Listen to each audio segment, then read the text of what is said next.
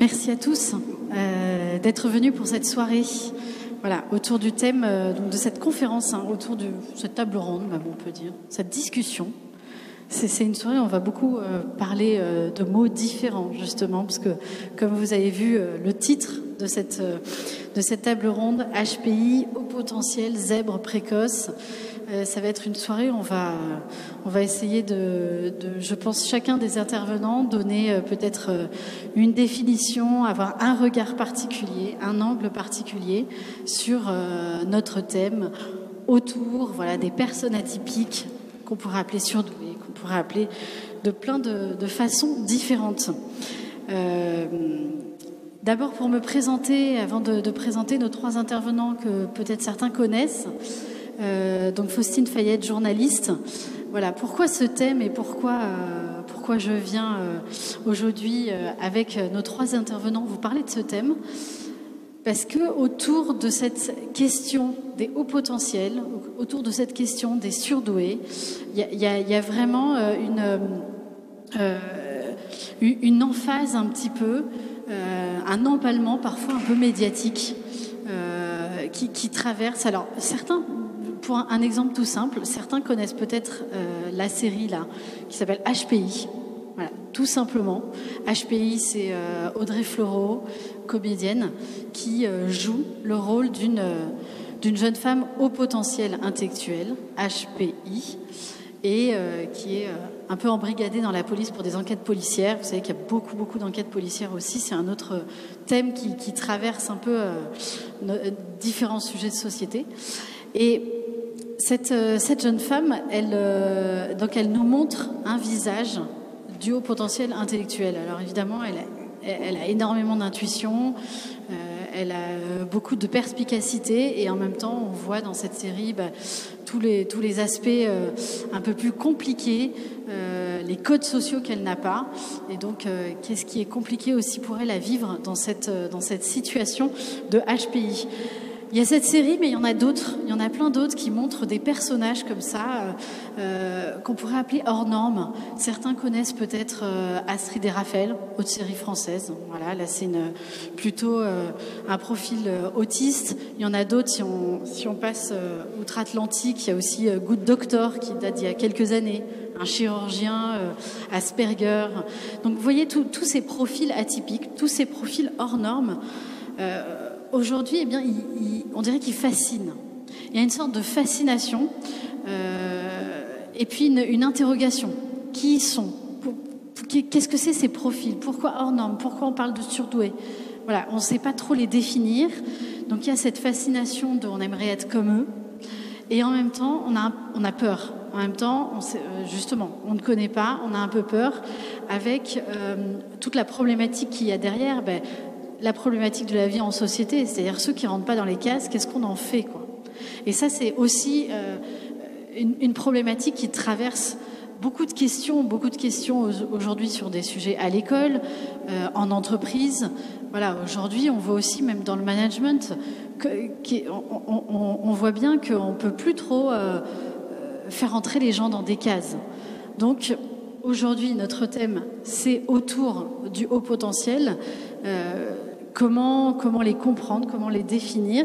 Et vous allez voir qu'avec nos trois intervenants, on va avoir euh, peut-être trois regards, trois, euh, dimensions aussi de, ces profils euh, qui vont nous permettre un peu de, mieux les connaître et peut-être aussi de savoir, eh bien, est-ce qu'il y a un accompagnement un peu différent à avoir Quel type d'accompagnement?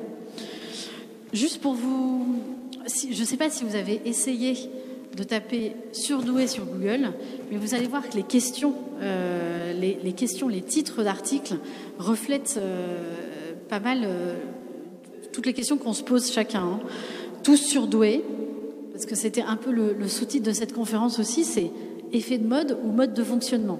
C'est-à-dire qu'on entend par-ci, par-là, des gens qui vous disent non mais on a l'impression qu'aujourd'hui tout le monde est surdoué. Parfois, vous entendez des mamans à la sortie de l'école, mon enfant est précoce. Ah ben oui, mais tout, le monde dit ça de son enfant. Alors, est-ce que tous les enfants sont précoces? Est-ce qu'on les voit plus? Est-ce qu'il y a plus de visibilité? Est-ce qu'il y a plus de tests? Ou est-ce qu'on est dans une société qui favorise ça? Voilà, c'est pas mal de questionnements. Sur les titres d'articles encore, y a-t-il vraiment plus de surdoués chez nos enfants? La dure vie des surdoués, vivre sa vie d'adulte surdoué, HPI surdoué, zèbre, cinq questions pour en finir avec toutes ces questions. Surdoués, que se passe-t-il dans leur cerveau? Et les adultes surdoués dans tout ça? Et, ça, ce sont vraiment des articles récents. Hein. Donc voilà, pour vous dire que c'est vraiment un thème d'actualité. Et si vous êtes là, c'est que euh, bah, forcément le sujet vous intéresse. Donc, on va aussi euh, un petit peu réfléchir à, bah, une fois que peut-être l'un ou l'autre est dit HPI, est dit surdoué, est dit zèbre, mais qu'est-ce qu'on fait avec ça en fait? Donc pourquoi cette conférence? À part le fait que ce soit un sujet d'actualité qui, traverse un peu les, médias, euh, on, va, traverser plusieurs, euh, axes de réflexion, on va essayer de répondre ou de donner des clés de réponse euh, sur d'abord qui sont-ils vraiment, leur fonctionnement? on a tellement de mal à les définir, comme je vous disais, qu'on a, plus, on a du mal à les nommer. Euh, on va revenir sur les grandes caractéristiques et puis sur la mécanique de fonctionnement. Euh, toute cette mécanique, ce, fonctionnement un peu atypique, eh bien, est-ce que quelles conséquences ça a aussi? C'est, ce que je vous disais tout à l'heure, la, capacité ou l'incapacité de s'adapter à la société. Et puis enfin, bah, quel, quel, type d'accompagnement pour, ces profils? Alors autour de, la table ce soir, donc pour en parler, euh, Sophie Poncé, bonsoir. Donc vous êtes euh, psychologue formatrice et donc vous accompagnez notamment pas mal de, de personnes euh, voilà, atypiques. Vous nous en parlerez tout à l'heure. Thibaut Hurstel, bonsoir. Vous êtes coach, humanologue, vous allez nous en parler. Et vous allez euh, aussi nous, dire un petit peu les, différents profils que vous accompagnez. Et euh, frère Baudouin Ardillier, donc vous êtes prêtre et vous êtes aussi tous les trois là au titre d'Alter Minds et vous êtes notamment le président d'Alter Minds et on parlera un peu de ce réseau, de ce réseau d'accompagnateurs, d'accompagnement de toutes ces personnes avec ce profil un peu hors norme. Alors pourquoi aussi ces trois personnes sont là ce soir? Eh bien peut-être parce qu'elles sont concernées, au premier chef. Euh, tous les trois personnalités hors normes, profil atypique. Alors je vais peut-être... Euh, vous l'avez euh, découvert quand? Et qu'est-ce que ça a fait en vous? Moi, je l'ai découvert il y a 13 ans. Ça faisait plusieurs années que j'accompagnais moi des, des, des, précoces arborescents surdoués, enfin des tronches, quoi. Et ça marchait bien parce que moi, j'étais l'anti-tronche, c'est-à-dire j'ai toujours été dégagé d'à peu près partout.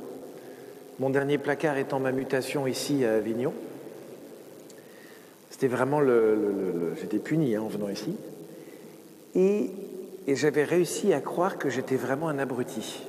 Mais je m'en sortais parce que j'arrivais à faire quelques trucs sympas. On faisait de la plongée euh, debout sur des bananes, donc ça avait l'air sympa et atypique. Et un jour, j'ai été convoqué par mon supérieur au resto. Et ça, c'est le signal, euh, faut qu'on parle, vieux. Donc on se retrouve au chinois à volonté, là. Il dit, vas-y, mange bien. Prends une grosse assiette, je vais parler. Et il me dit, en fait, on a un problème Vraiment, on t'aime bien. Mais vraiment, t'es aimé. Hein. J'étais hyper ému et tout. Euh, mais on n'en peut plus. On n'en peut plus. C'est vraiment, tu nous gonfles. On te donne un terrain de jeu. Tu fais cette taille-là. Tu passes ta vie à l'extérieur. Mais en plus, tu reviens. Nous, on se dit, ah, il est en crise, il va partir, il revient. Alors que nous, si on va là, on se casse la gueule. Toi, non. Tu es debout sur le fil entre deux trucs. Et puisque nous on fait, ça ne t'intéresse pas. Attends, on a une réunion par semaine qui est hyper importante. Parce que si on met les torchons là, et les serviettes là, et le truc là, merde, c'est notre vie, quoi. Et de fait, je m'en tape. Et donc, euh, il m'a dit, sauf que tu fais des trucs que nous, on ne sait pas faire. Et on n'a pas la clé. Donc, il faut vraiment qu'il se passe quelque chose. Donc là, euh, avec une petite culpabilité existentielle, Euh, on a cherché tout, on a fouillé mon passé, mon passif, celui de mon père, ma mère, mes enfants, ma femme, tous les trucs possibles de partout. Et alors, pardon, là, c'est le curé qui va. Et on a fini, comme mon frère de Saint-Jean dit, on va faire une neuvaine. Et en fait, en trois jours, j'ai quatre familles qui m'ont dit, dont j'accompagnais les enfants qui, eux, étaient considérés comme précoces, testés, etc. Visiblement, ça marchait bien avec eux, parce que comme j'étais un peu con, ben, ça marchait bien avec eux. C'est bien. Et il y a trois familles qui font Mais mon père, c'est incroyable. Quand avez-vous compris la chose? De quoi tu parles? Et, en fait, au bout de trois, je suis allé voir mon chef. Je lui ai dit Écoute, euh, c'est quand même une question. Et alors, il dit rien. Et j'ai appelé le centre Cogitos qui est à côté, qui est spécialisé. Enfin, ils font un super boulot. Et je fais Bonjour madame, excusez-moi de vous déranger. Je suis le père Baudouin. Ah, père Baudouin. Vous me connaissez Oh, bah un peu quand même. Hein. Ça fait 25 que vous en envoyez chez nous. Euh, les 25, ils matchent, donc il y a des chances que vous. Mais de quoi tu parles, madame Venez me voir demain. Bon, la semaine d'après, j'y vais. Et en fait, euh, elle m'a donné une minute 30 pour raconter ma vie. Je l'ai fait en 1 minute 29, 99 secondes, je suis trop fier. Petit challenge, quoi. Et puis elle me dit maintenant, je vais vous, vous allez prendre des notes. Et elle m'a raconté en 5 minutes toute ma vie. Ce que je pensais être ma vie. Et je lui dis, mais vous êtes prophétesse médiumnique euh, Elle fait, euh, non, non, c'est de la mécanique, c'est ton cerveau qui marche comme ça. Et je suis rentré chez moi et j'ai dormi 15 euh, heures pendant un mois tous les jours. Le corps a fait... depuis, il est un peu gonflé. Hein, ouais, c'est pathologique. et, et puis j'ai compris qu'il y avait cette chose-là et j'essaie depuis de, continuer à aider comme je peux rassurant du coup ou tsunami ou les deux? C'était hyper compliqué parce que tu as la tentation à un moment donné de te dire écoutez, je suis hyper intelligent, faute d'être beau, moi j'ai un truc vendre. Et puis tu comprends très vite qu'en fait ça n'a rien à voir, c'est juste tu fonctionnes pas pareil. Moi ça m'a fait du bien. Ça m'a fait du bien que quelqu'un me dise en fait je te comprends. Et c'est la première fois que ça m'est arrivé. C'est comme quand Eti fait maison, il appuie les doigts là. Mais là, elle m'a appuyé le doigt et ça s'est allumé. Je me dis, mais elle m'a compris. Et, c'est incroyable. Ça, pour moi, c'était un bouleversement dans ma vie euh, incroyable. Et je pensais en fait qu'elle savait toute mon intimité. J'ai compris plus tard qu'elle connaissait la partie superficielle, quel fonctionnement, mais que tout était à découvrir dedans. Et alors vous, vous choisissez quel, euh, quel terme pour vous définir? Moi, j'aime bien le atypique. Après, ça dépend, parce que il y a des gens, il y a des gens, ils ont besoin d'avoir des cases. Donc, euh, il y en a qu'il faudra dire surdoué, mais il faut pas qu'ils comprennent, euh, je me la pète. Euh, zèbre, j'aime bien, parce que ça ressemble à un cheval, mais c'est indomptable et ça l'est pas. J'aime bien pense autrement, c'est pour ça qu'on a pris Alterminds, penser autrement. J'aime bien l'aspect atypique, mais j'ai horreur d'être mis dans une case. Donc, votre question me harcèle. Alors, je vais changer d'interlocuteur. Merci. pour euh, cette, euh, euh, ce que dit frère Baudouin là sur tout d'un coup, j'ai eu l'impression d'être compris. je me tourne vers vous, Sophie, parce que vous, vous avez dit que c'était vers 40 ans. Est-ce que vous avez eu ce sentiment-là Tout d'un coup, j'ai été compris. Peut-être, je ne sais pas, aimé ou rassuré ou... Pas du tout, parce que moi, j'ai tout fait toute seule, en fait. C'est moi, en bouquinant, qui ai compris comment ça fonctionnait dans ma tête. Et la première fois où je me suis dit que j'étais intelligente, c'était en 2017. Je faisais de la remédiation cognitive parce que mon cerveau n'était pas du tout structuré pour réfléchir. Et en faisant un petit exercice avec un jeu de petite voiture à faire sortir d'un parking, là, je ne sais pas si vous connaissez, tout d'un coup, j'ai, je sais pas, j'ai eu une illumination dans ma tête et je me suis dit, ah mais quand même, j'en ai quand même sous le capot, je suis intelligente. C'est la première fois que j'expérimentais que de, enfin, je sais pas, de toucher mon intelligence. Alors là, il y, y, a quelque chose qui est qui est questionnant, je trouve, c'est qu'en vous écoutant déjà tous les trois, et je pense que ça, dit quelque chose pour, euh, pour tous ceux qui peut-être se sentent concernés, c'est qu'on a l'impression quand même qu'au départ, euh, il y a un, gros décalage, mais presque un regard sur soi négatif, euh, comme si on était en situation d'échec. c'est quelque chose qui revient souvent dans ceux que vous rencontrez. Alors peut-être je, Thibault, pour ceux que vous rencontrez De moins en moins chez les jeunes, parce que le sujet est beaucoup plus médiatisé et mm. beaucoup plus démocratisé. Mais c'est vrai que dans notre soit né, on, appelait ça des génies. Oui, il y avait un peu le terme de petit génie, l'image, l'image du surdoué, le petit génie. Il faut le porter. Surdoué aussi, c'est, en plus en France où très, on est très dans le moralisme, ah, c'est, pas évident à, vivre avec une étiquette comme ça. Euh, mais aujourd'hui, c'est vrai que il y a de plus en plus de gens en fait qui viennent euh, recommander, soit par des psychologues euh, qui viennent nous voir, et, en connaissant déjà un petit peu le sujet. Donc il n'y a pas, a pas beaucoup de, on n'est pas forcément très missionnaire, même si, on l'est encore.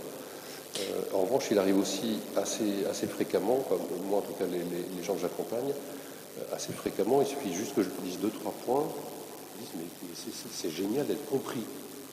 Moi, j'ai l'impression de dire un truc, mais d'une fadeur, euh, parce que c'est justement de fonctionnement, et en général, ça touche la personne, parce que ça, lui passe, ça va avoir un impact à ce moment-là sur quelque chose presque d'intime et de, totalement incompris par, son entourage, par son environnement ou par la société. Alors, il y a ce besoin de se sentir compris qui, du coup, demande euh, un accompagnement. Alors, on va voir le pourquoi de cet accompagnement, mais d'abord, je voudrais voir euh, avec vous. Vous êtes retrouvé, vous avez formé donc Alter Minds, euh, qui vous essayez de, former un, réseau d'accompagnement, mais vous êtes retrouvé surtout sur une vision un peu commune, un constat. donc vous dites, effectivement, il y en a peut-être parmi les plus jeunes qui connaissent un peu mieux le sujet, euh, qui, sont peut-être euh, plus à l'aise aussi avec toutes ces questions de, coaching, d'accompagnement, peut-être plus à l'aise que les générations euh, de nos aînés. néanmoins, et, puis il y a cet accompagnement aussi qui s'est beaucoup développé hein, dans tout ce qui est dans tout ce qui est aussi bien-être, accompagnement, coaching, ça s'est énormément développé ces dernières années. Et donc il y a un peu de tout. Donc aujourd'hui, vous, pourquoi vous créez À quel moment vous avez dit, tiens, on va créer Alter Minds Parce qu'il y a un manque quelque part. Il y, a quoi comme constat Alors? Peut-être Frère Baudin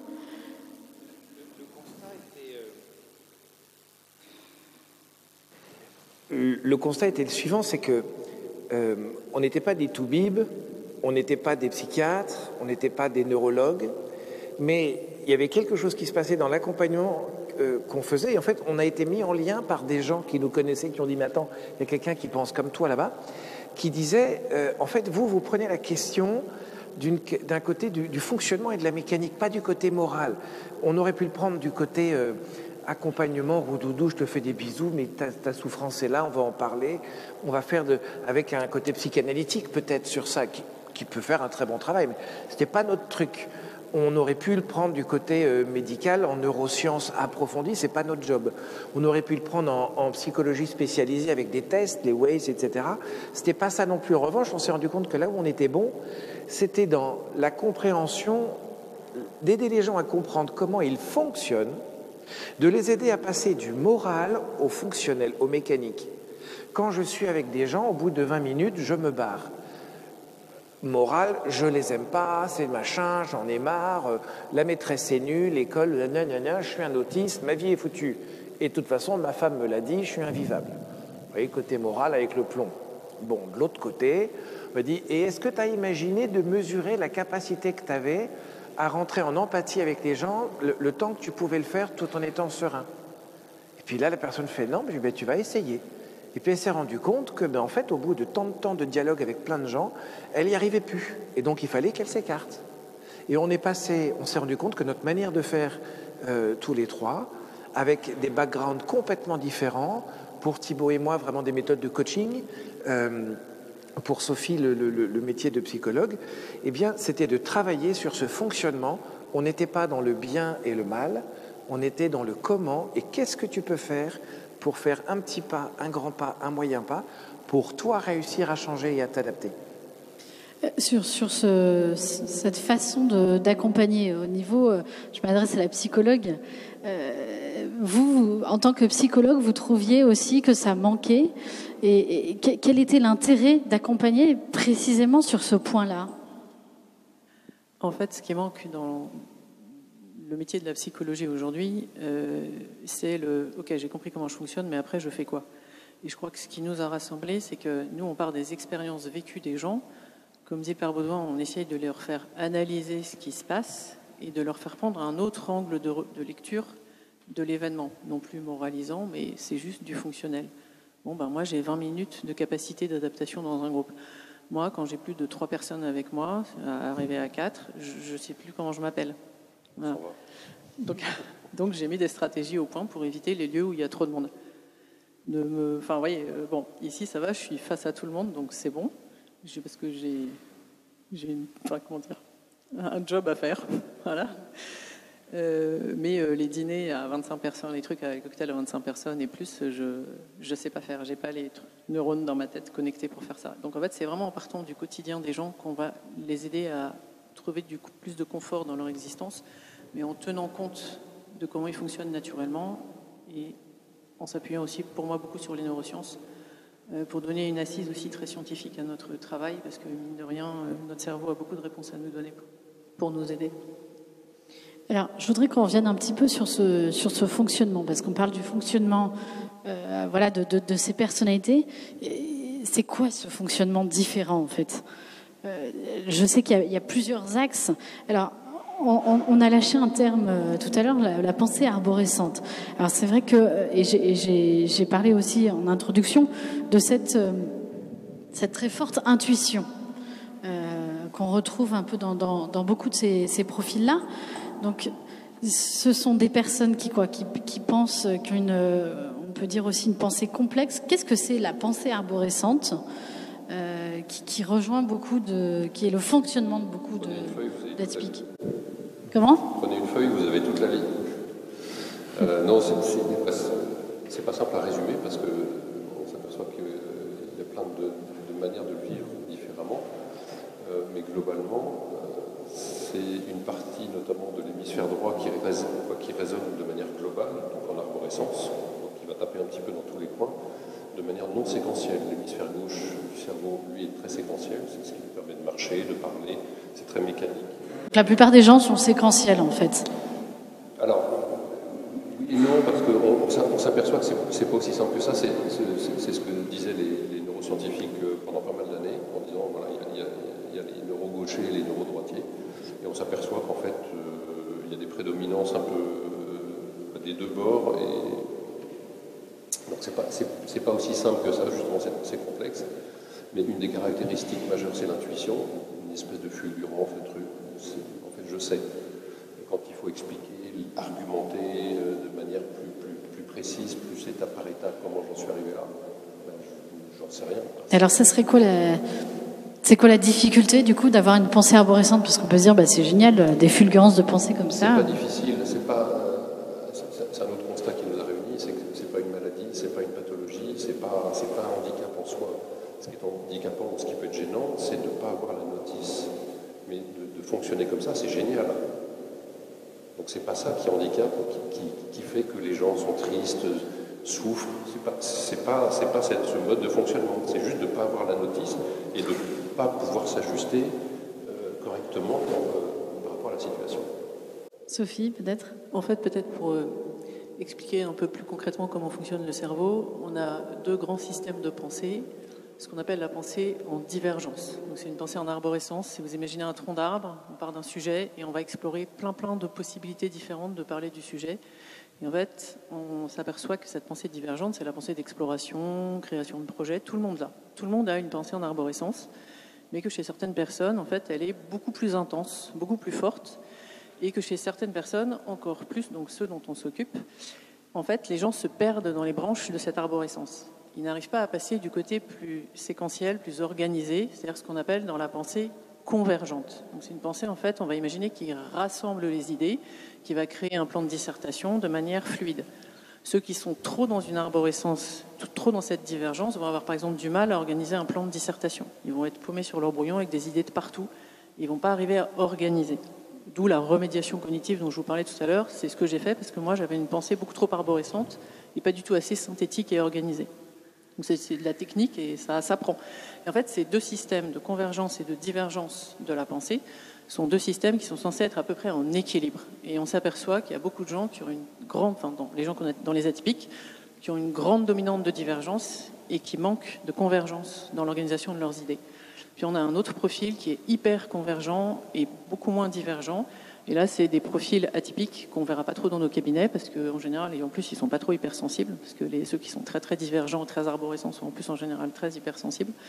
Et euh, les profils qui sont assez convergents, ça va être des grosses têtes qui font des grandes écoles, ça se passe bien, la scolarité se passe bien. Nous, on va plutôt accueillir ce qu'on appelle les profils complexes, très hétérogènes, ça part dans tous les sens. Alors, est-ce que votre un des messages que vous passez, c'est c'est pas une fatalité et ça se travaille? Complètement, parce qu'on a un truc absolument génial qui s'appelle la plasticité neuronale. C'est-à-dire que vos neurones dans votre cerveau, ils, se connectent, ça des synapses, les connexions neurologiques, depuis le début de votre existence. C'est une espèce d'immense carte routière à multi-niveau, multidimensionnel, qui s'organise au fur et à mesure que vous, vous avancez dans la vie. Et on sait aujourd'hui que euh, les connexions qui sont faites peuvent se défaire, se refaire différemment, qu'on a des nouveaux neurones qui poussent. C'est pour ça qu'on peut toujours apprendre aussi des nouvelles choses. C'est pour ça qu'on peut aussi réformer des systèmes de pensée en redonnant de nouveaux comportements par la répétition qui entretient les connexions dans le cerveau. en fait, il n'y a aucune fatalité, rien n'est irréversible. Une personne qui n'a jamais travaillé sur son atypicité peut tout à fait, à n'importe quel moment de sa vie, euh, aller se faire un peu, se faire accompagner pour comprendre comment ça marche et quoi mettre en place très concrètement dans son existence pour en fait devenir davantage, euh, j'allais dire, le chef de son cerveau, arriver à gouverner ses pensées, à gouverner ses émotions. Et euh, c'est de la technique en fait. Et c'est plus confortable quand on a vraiment le mode d'emploi de, de, de, notre cerveau et comment on fait pour entretenir ces, ces nouveaux schémas de pensée dans notre tête. Alors, on a vu donc un axe donc euh, la, la pensée euh, arborescente et puis toute tout, euh, cette façon de penser, on va dire. Je voudrais voir une deuxième caractéristique peut-être, c'est tout ce qui est autour de, des codes sociaux. Et je crois que ça va avec, mais peut-être le, manque de, filtre. En, en, tout cas, au niveau du comportement social, on a l'impression que y a, là, il y a un loupé, quoi. Alors, c'est pas que la pensée, là. C'est peut-être un Baudin est plus habitué à ça. Chac, chacun a sa spécialité dans le là-dedans. On, on, on, est très complémentaires. Euh, le, le, constat est le suivant. Euh, Figurez-vous que, ce, imaginons que le cerveau soit une pompe. Notre corps passe tout son temps constamment à enregistrer tout ce qu'il y a autour. Par exemple, le fait que je, que je respire, j'assimile ce qu'il y a autour de moi le fait que je touche ici, j'assimile ce qu'il y a là, dans une certaine mesure. Le fait que je vous vois, j'assimile les ions, les photons, les machins, tout ce que vous voulez. Le son, tout ça, ça marche pareil. Et quand tout est ordonné, c'est vachement bien. Parce que je vois bien ce que je dois voir, j'entends bien ce que, ce que je dois entendre, etc. Mais si jamais. J'entends trop, la pompe en fait est aspirante est plus forte, trop forte. Souvent, il va se passer que je vais développer ce qu'on appelle une hypersensibilité. Et euh, la cause de l'hypersensibilité, c'est pas, euh, c'est de la mécanique. Et donc, je vais, je vais percevoir beaucoup de choses. En soi, pourquoi pas? Il y a des gens, ils, ils, ont un cerveau qui tourne à fond la caisse, qui ont une pompe qui va partout dardard, ils captent tout, et tout, c'est des gens brillants. Ils nous agacent, ceux-là. Hein ils les aiment pas. Je suis jaloux, hein, comme une teigne, évidemment. Euh, les brillants, ils cartonnent. C'est, tu as lu, oui, j'ai relu Céline hier soir, page 28, paragraphe 2, c'était incroyable. Oui, oui, bien sûr. Céline, c'est pas la voisine Non, c'est pas la voisine. et puis, euh, vous avez d'autres en fait qui perçoivent plein d'infos tout le temps, parce que naturellement, hein, ça fait pas, ils le savent pas, mais ils en perçoivent. Enfin, ils peuvent en être conscients. Et, ce qu'il faut, c'est que toutes ces infos que je perçois, je les filtre. Pourquoi? Euh, Imaginons que vous êtes arrivé ce soir, vous étiez, je sais pas quoi, fatigué. Des gens avec qui je parle aujourd'hui. Je prends un autre exemple. Ce matin, ils sont embrouillés dans leur couple parce que lui n'a pas dit bonjour. Elle, elle est partie à la cuisine. Qu'est-ce qui s'est passé? C'est sa mère. Il l'a eu hier soir au téléphone. C'est toujours un coup de la belle-mère. La belle-mère. et, et, en fait, c'est parti dans le cerveau, le petit vélo qui, qui, qui partait comme ça. Et en fait, parce qu'elle n'a pas juste filtré, c'est-à-dire qu'elle a eu un ressenti qui lui est apparu immédiatement comme le réel. Et donc, le vélo est parti, et alors là, le nuage noir, la belle-mère, vous voyez l'ampleur du dossier. En fait, le gars, il venait de faire une nuit blanche, il était cassé, et le, bonjour ma chérie, il l'a profait. Et donc, qu'est-ce qu'elle a fait? Il n'a pas filtré. Et donc, ce qui manque souvent à ces personnes, à cause de ce fonctionnement mécanique, c'est un certain nombre de filtres. La plupart du temps, c'est très très bien filtré. Hein. ce qui est ressenti. Mais certains filtres manquent. Donc certaines choses peuvent être des agressions. Certains filtres à certains ressentis. Ça peut créer des angoisses, ça peut créer euh, des, des, des, des, paniques, des peurs, des choses comme ça. Ça peut être euh, une agression sur rien. Par exemple, vous avez l'hyperdéveloppement de quelque sens. Souvent, vous avez euh, l'ouïe, l'œil, le... C'est des mots compliqués. Bon, prenez un des cinq sens, hein, ça marche comme ça. Par exemple, moi j'ai une hyperacousie. Je suis allé prêcher à Saumur la semaine dernière, en plein milieu du sermon, qui était magnifique. Il y a un enfant qui s'est mis à, aboyer au quatrième rang, enfin à faire du bruit.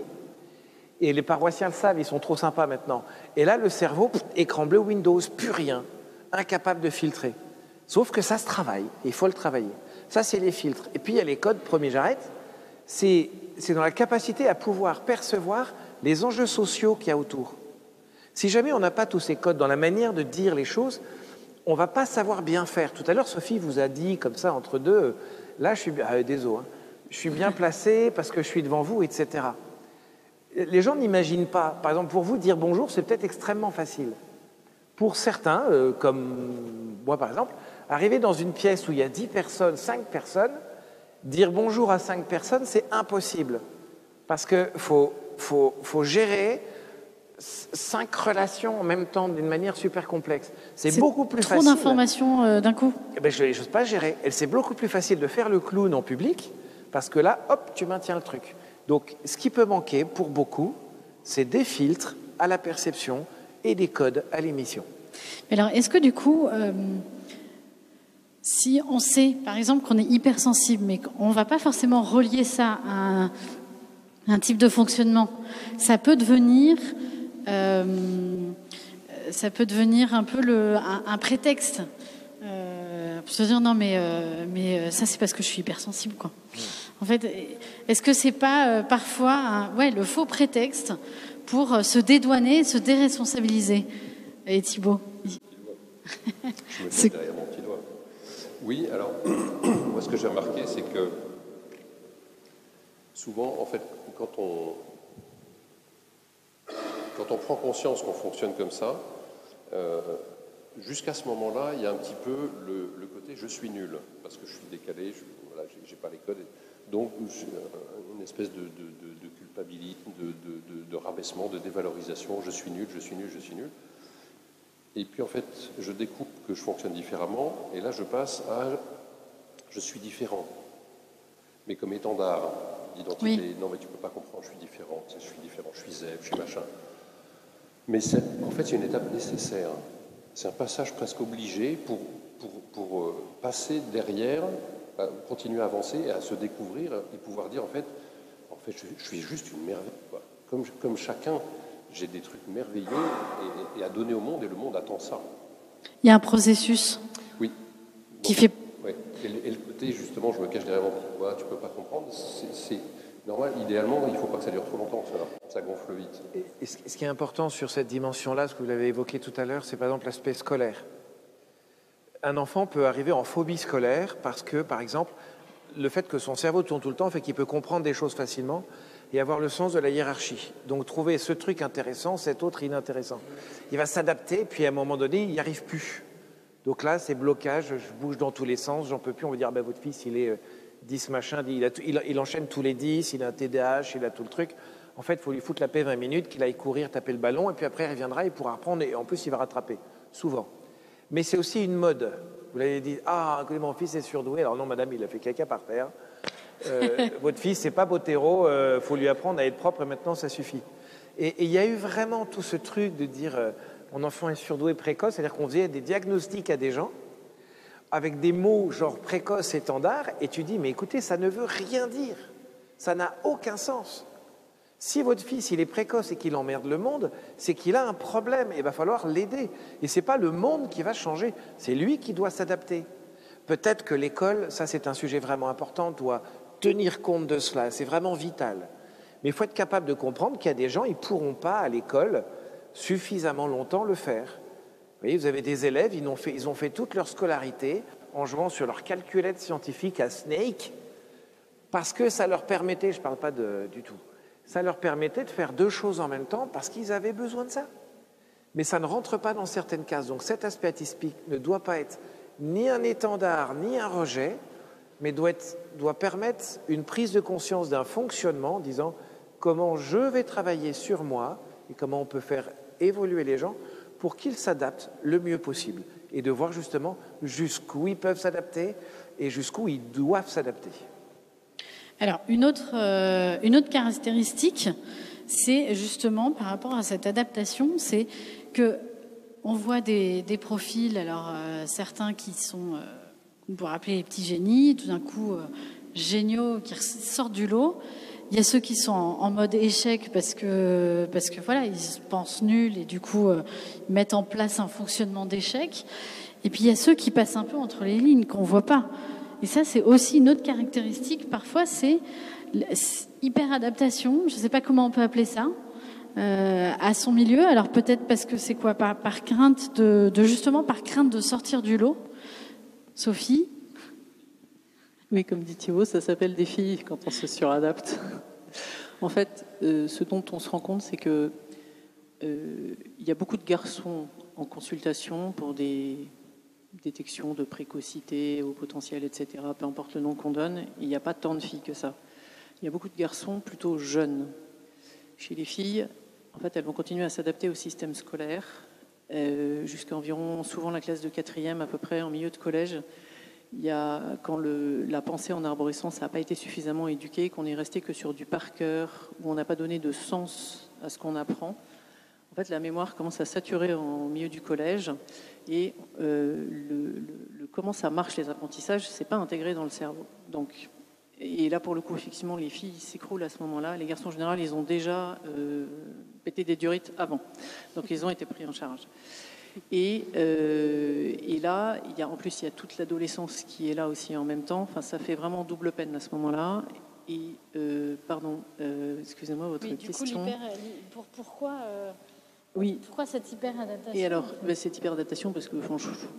Qu'est-ce que ça crée aussi comme conséquence Qu'est-ce que ça crée comme conséquence, cette hyperadaptation ben, L'hyperadaptation crée tout ce qu'on a dit là, à savoir, euh, dans le carnet, il va commencer à y avoir marqué euh, a des capacités pour mieux faire. Ça, c'est la phrase qui tue. Parce qu'en fait, on arrive avec ces jeunes adolescentes, mais euh, bon, les garçons aussi sont concernés, bien sûr, par une espèce de ressenti interne très fort qu'on a du potentiel. En tout cas, moi, c'est comme ça que je l'ai vécu rétrospectivement en analysant les choses, euh, on a du potentiel, mais on n'arrive pas à l'exprimer parce qu'on ne nous a pas donné les codes et on ne nous a pas appris les filtres pour utiliser tout ce potentiel. Et, euh, et puis on est dans une société où il faut réussir. On n'a pas le droit de, faire trop de vagues, on est censé obéir, euh, être bien sage. C'est bête, mais ça existe. Enfin, c'est vraiment vrai. On, intériorise. On intériorise énormément, on prend sur soi. Et, euh, mais bon, après, ça peut décompenser. Euh, parfois, ça va très loin. Ça peut aller jusqu'à des. pire que la phobie scolaire, des anorexies chez les filles. Enfin, il y a des troubles d'hyper-anxiété, euh, des phobies sociales. ça, peut, ça peut aller très, très loin quand, en fait, ce cerveau-là, dans la tête, n'est pas pris en charge et on ne donne pas les modes d'emploi pour pouvoir vivre sereinement sa scolarité. Frère Baudin. Dans, dans, les conséquences qu'il y a, euh, certains utilisent un mot qui s'appelle un faux self. En fait, quand vous avez un fonctionnement qui est, qui est particulier, on pourrait dire que vous savez, vous avez les moteurs essence, les moteurs diesel, c'est deux types de mécanique. C'est ni bien ni mal, c'est comme ça. Il y en a un aujourd'hui qui vous coûte une blinde, mais ça n'a rien à voir. Euh, imaginons que vous avez ce fonctionnement euh, arborescent, il n'y en a pas un qui ressemble à l'autre. C'est pour ça que Jeanne Chauffachin les appelle des zèbres, parce que c'est trop facile de dire voilà, t'es comme ça. Non, non, non, non. Il y a des les zèbres, c'est parce que tous les zèbres n'ont pas les mêmes rayures. Mais c'est, les zèbres, c'est parce qu'elle appelle ça comme ça, parce que c'est des, ça ressemble à un chevaux, mais c'est sauvage. pas un chevaux. C'est pas un chevaux. Ça a des rayures, et il n'y en a pas deux qui ont les mêmes, et c'est indomptable. Tu peux pas, vas-y, mets-y donc dans la boîte, tu vas voir. Comme la peinture écossaise, vous voyez, ça marcherait pas. Euh, à force d'être seul et de ne pas avoir en face, vous voyez, le, groupe d'ados typique, moi je suis fan des, ados euh, classe 3e, etc. Il y a 30 gamins, un cerveau, une idée. Tout le monde s'identifie au groupe. Euh, c'est nul, le cours est nul, c'est nul. Ok. Si tu veux faire partie du groupe, tu as intérêt à dire c'est nul, le cours c'est nul.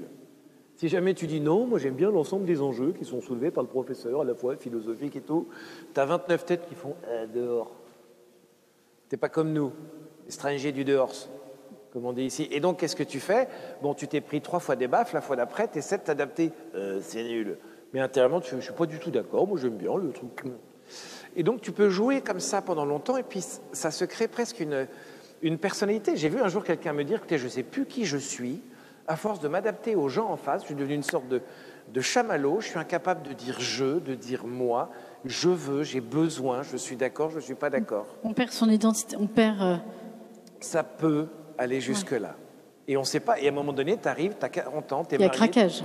tu as une femme et tu as des gosses, et tu es là, tu fais, euh, je ne sais pas qui je suis, je ne sais pas qui tu es, je me casse. Et là, tu fais, euh, il y a un peu de boulot. Euh, dernière euh, caractéristique que je voudrais qu'on aborde, il y en a peut-être plein d'autres, mais là je pense qu'on aborde les, quand même les principales et celles qui ressortent le mieux. Mais il y a aussi euh, une sorte de soif d'absolu, euh, un perfectionnisme, on parle souvent de perfectionnisme, et de culpabilité. Alors je, je me retourne peut-être euh, encore vers Frère Baudouin sur, euh, sur cet aspect. En fait, Oui, après je décompterai les minutes. Quand vous avez une, vision large, c'est-à-dire vous pompez des infos, une vision, imaginons à 180. En gros, vous avez une vision large. On vous pose un problème et assez rapidement, vous allez voir les enjeux. Ça, ça, ça, il y a telle conséquence, tel machin. C'est des gens qui sont souvent saoulants, ce que tu dis. Et si on allait faire une balade? Alors oui, est-ce que tu as pensé à la météo, le truc, le machin, le bidule, etc. Quand ça vient pas d'eux, ils vont utiliser l'arborescence pour t'expliquer que ton idée, euh, bah, bah, moi je voulais juste aller me balader, hein. Euh, je voulais pas ni te tuer, ni me tuer, tu vois. Et, souvent, il y en a, ils sont super prises de tête. Ils ont cette vision large. Ça leur permet euh, assez facilement de voir les grands enjeux. En fait, la question, elle se pose là. Tu dis, est-ce qu'on peut faire ça? Oui, mais l'enjeu est là, le truc est là. C'est la question du sens. Et donc, ce sont des gens qui sont assoiffés de sens. Ils voient très bien que le compas, vous voyez, le double décimètre carré rectangle sur lequel tu le compas à l'école, ils comprennent intuitivement que l'intérêt du compas, c'est de faire des rosaces quand tu t'ennuies, de jeter, de piquer la voisine avec le pic et de faire des, catapultes avec un, élastique, parce qu'ils savent très bien que l'année d'après, ils ne l'utiliseront plus jamais. Et les autres, ils ont ce sens, et donc ça les saoule. Donc ils rentrent un côté moral. Ça veut donc dire que cette soif de sens, d'absolu, ça va être la question, tu as des gamins à 5 ans qui disent, l'âme, quand elle se sépare du corps, véridique, hein, est-ce qu'elle rentre en décomposition spirituelle ou est-ce qu'elle continue à demeurer Je peux vous dire que la maman, elle disait, écoutez mon père, hein, chacun son job. Alors il y en a, ça s'est mis comme ça, c'était ça, d'autres n'ont pas ça, mais c'est, vous voyez, c'est, le- c'est sens d'absolu, ça donne quoi? La question du sens, ça veut dire, si ça n'a pas de sens, plutôt crever. Fais ça, pourquoi? Parce que. Mais plutôt crever, ça ne me respecte pas. Pourquoi faut-il avoir cette pensée-là? Tout le monde doit penser, ce que disait Sophie est tellement juste, il faut penser comme ceci dans le monde d'aujourd'hui. Amusez-vous à penser différemment. Amusez-vous à dire, moi je pense qu'il faudrait vraiment qu'on réfléchisse sur la question de l'avortement, de l'euthanasie et de l'eugénisme. Et vous regardez juste ce qui se passe. L'idée de penser la question est interdite. Quand vous avez une pensée libre, vous n'avez rien à faire. Vous faites des ennemis, ça c'est sûr. Donc il faut être prudent. Mais en gros, quand vous avez ce sens de l'absolu, vous allez au milieu de toute cette arborescence dire la question c'est ça. C'est ça et c'est ça. Avec un sens de la perfection pour dire en fait, je suis appelé à vivre ça. Et si en plus je veux être aimé malgré ce fonctionnement, je vais m'adapter parfaitement. Donc, qui dit volonté de, qui dit question de l'absolu va dire volonté de perfection. Et qui dit volonté de perfection va dire culpabilité. Parce que le constat, c'est que l'absolu, c'est pas moi. La perfection, je ne peux pas. Et donc, c'est de ma faute. Finalement, je suis nul. Et ce sont les rois et les reines pour scier la branche sur laquelle ils sont et mettre en place des processus d'autodestruction. Alors, vous allez voir, l'école, ça ne marchera jamais. Et évidemment, euh, ça ne marche pas. Euh, Thibaut veut rebondir Il y peut-être. a un double effet qui se coule aussi là-dessus. Euh, c'est qu'en plus de ça, petit, le, le jeune arborescent, en arrivant à la cour de récré, il voit bien qu'en étant lui-même, rapidement, il se fait exclure du clan. Comme il observe tout avec son laser, il a tout capté, il a bien vu qui était populaire, comme disent les jeunes et tout ça. Euh, et en fait, du je suis, il va, il va faire comme les autres. Donc déjà, il, il- il va sortir de, ce- de ce qu'il est Donc il sort déjà de sa soif d'absolu, peut-être. Euh, oui, mais il y a un côté aussi très, très pragmatique, très, très, très quotidien, de voir que il n'est pas comme les autres, il n'est pas accepté par le clan. En revanche, en faisant comme, donc en s'adaptant, mettant son faux etc., il se, fait euh, très bien accueillir, mais dans le fond du fond, il a quand même un problème. Il n'est pas comme tout le monde. Donc il, va pouvoir aussi développer son, son perfectionnisme en étant plus que parfait. Forcément, je me ferai accepter comme je suis et surtout, je me ferai accepter normalement quand il n'y aura plus de problème. Et comme j'ai un problème parce que je ne suis pas comme les autres, j'ai un problème. C'est moi qui suis nul, c'est moi qui ne suis pas bien. On en revient au moralisme qui est très présent. Alors qu'en fait, non, c'est juste un mode de fonctionnement qui est différent. Sophie. ça peut être très lourd. Euh, peut-être deux, trois exemples un peu pratico-pratiques sur euh, cette question de la perfection et de ciel à branche sur laquelle on est assis. Euh, ce sont des, les atypiques fonctionnent souvent en tout ou rien. Tout est génial, tout est nul. Il y a très peu de nuances.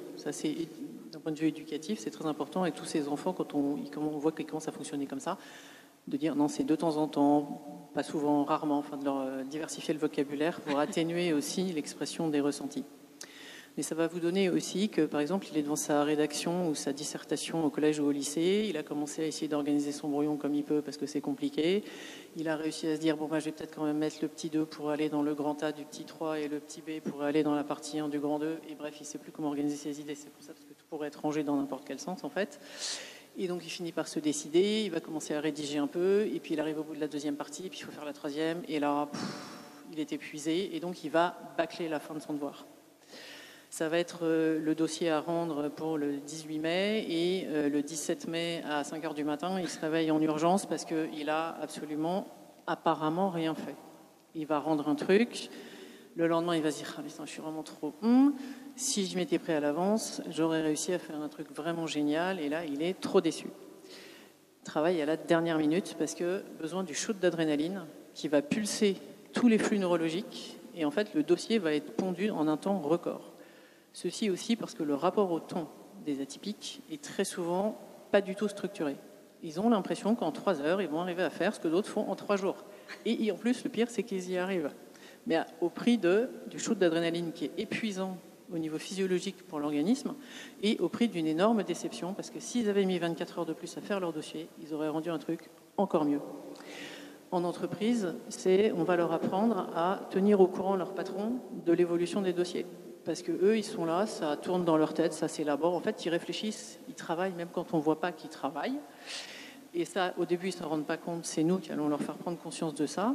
Et euh, le patron, lui, il se demande ce que fabrique son salarié. Et donc, eh ben, le salarié doit apprendre à envoyer un mail. Alors euh, voilà, ça avance, rassurez-vous, euh, tout va bien.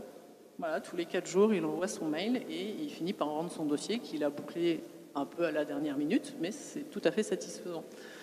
Voilà, des, petits exemples de, fonctionnement tout à fait atypique, pardon, atypique euh, qu'il est nécessaire d'accompagner parce que quand les gens fonctionnent comme ça, en fait, soit ils se renforcent dans la spirale de la dévalorisation parce qu'ils auraient pu faire mieux, ils peuvent se décourager, euh, ils peuvent trouver qu'ils ne sont pas à la hauteur de leur potentiel, alors qu'en fait, il suffit d'utiliser ce que j'appelle cette pensée en plop, c'est-à-dire je mets du grain à moudre dans ma tête, j'ai des idées qui arrivent, j'ouvre un dossier, je mets trois post-it avec trois idées, une idée, un post-it, parce que ça permet de faire bouger les post-it et d'organiser les idées de manière beaucoup plus souple que si j'ai tout écrit sur ma feuille de papier.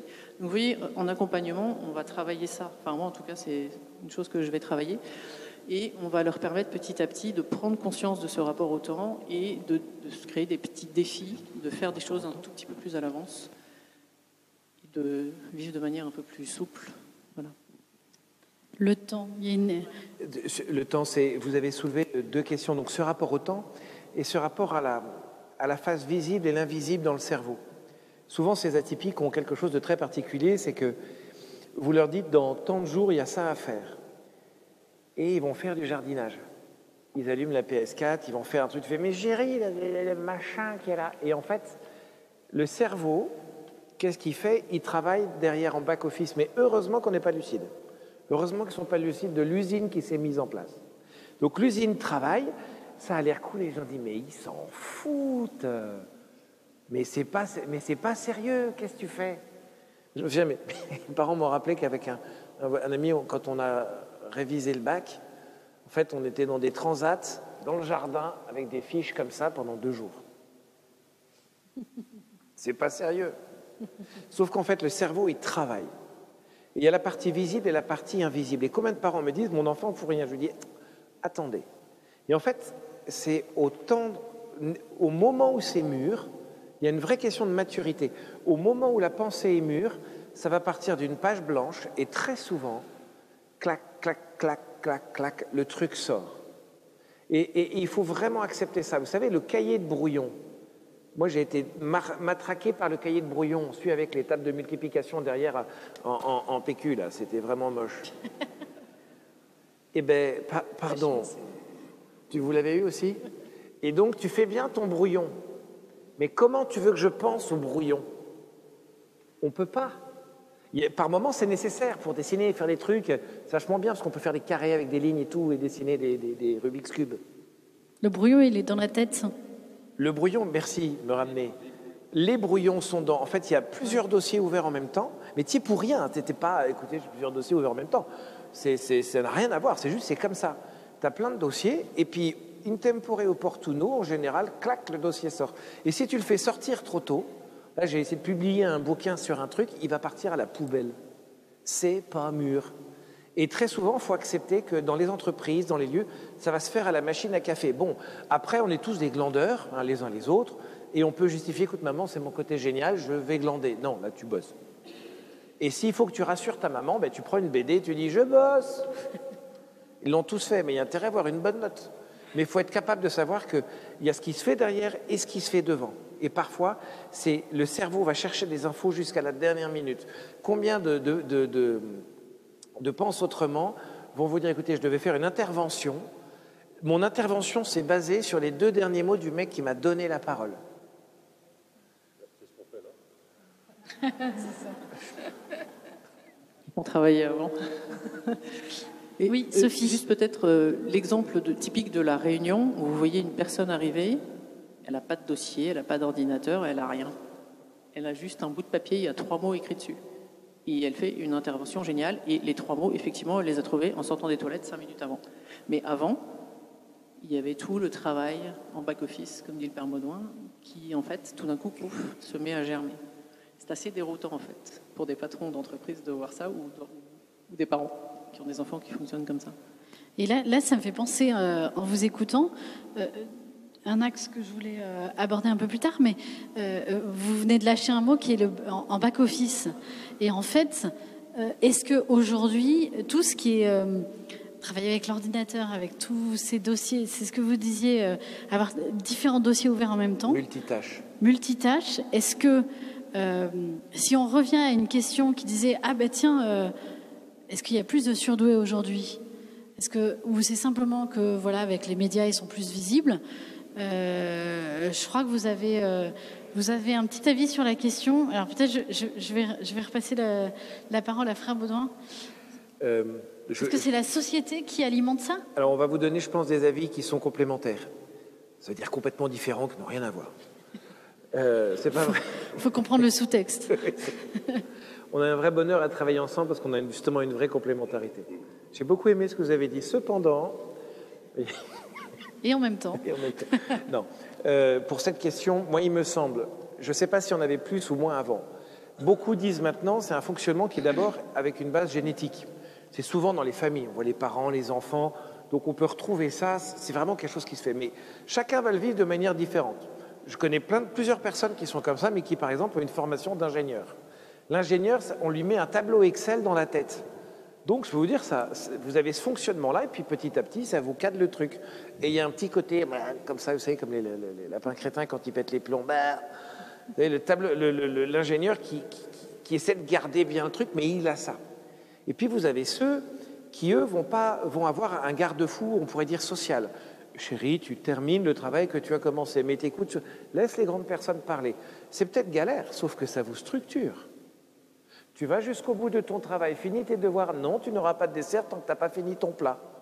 Maintenant, on est plus, oui, mon chéri, maman t'a agressé avec ses frites, je suis désolé. Tu vois, je vais plutôt te donner un dessert. Tu dis, wow, wow, tu plaisantes. Donc avec ce monde où, où, au niveau éducatif, cadre social, local, plus vous rajoutez la famille explosée, euh, la famille euh, redécomposée, etc., les structures qui permettaient de cadrer quelqu'un qui était un peu arborescent, mais pas plus que ça, ont sauté. Donc ça peut sortir. Et vous rajoutez à ça le principe même de l'informatique aujourd'hui, avec le iPad multitâche, fait 15 trucs en même temps. Alors là, mais ça ne développe pas automatiquement l'intelligence et la volonté qui permettent de dire c'est pas parce que je fais plein de choses que c'est bien. Vous voyez, aujourd'hui, dans notre municipalité ici, que j'aime énormément, il y a tout un immense dossier sur les mobilités. Ce qui compte, c'est les mobilités. Où en est la mobilité? C'est super. Moi, je préférais avoir une rencontre. Eh bien, aujourd'hui, on vous dit fais plein de choses, euh, sois, sois, mobile. Nous, on est hyper mobile et jeunes, avec des super sneakers qui coûtent une blinde, mais on ne dit pas quelle est la qualité de ta relation humaine? Et donc, on ne branche pas l'intelligence et la volonté. Donc, le multitâche, s'il n'est pas avec intelligence et volonté pour donner un cadre, devient une arborétisation généralisée des gens. Donc, euh, et sans la forme. Et là, s'il n'y a pas un accompagnement, ça. C'est une catastrophe. Thibault peut-être avait un avis aussi sur la question. C'est vrai que la société actuelle développe le, la prédominance de l'hémisphère droit par l'arborescence, c'est ce qui gère l'image notamment. Mais si c'est au détriment de l'hémisphère gauche, qui lui va structurer, on a, en fait on a besoin des deux. Alors, il y en a qui sont très bien équilibrés avec une, une prépondérance d'un côté ou de l'autre. Euh, voilà, peu importe le dosage de chacun, mais aujourd'hui avec les notamment, il y a l'hémisphère droit qui, qui, est hyper sollicité, mais l'hémisphère gauche, absolument pas. Donc, ce qui va structurer, ce qui va solidifier, il n'est absolument pas là. il suffit d'écouter les jeunes parler. C'est juste affligeant.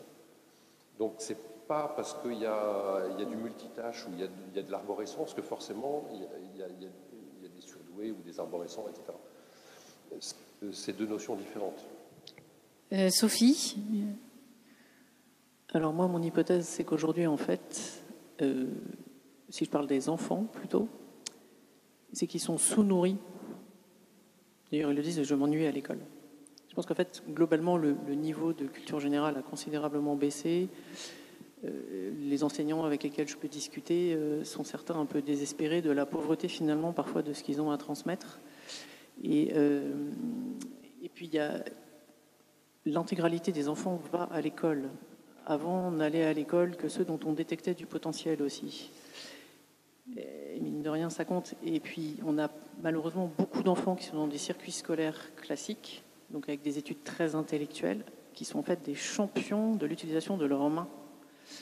Et ceux-là, bah, ils sont à la ramasse. Ils arrivent seulement à l'âge de 16 ans dans les circuits professionnels, alors que ça fait déjà entre 2, 4, voire 6 ans qu'ils galèrent à l'école.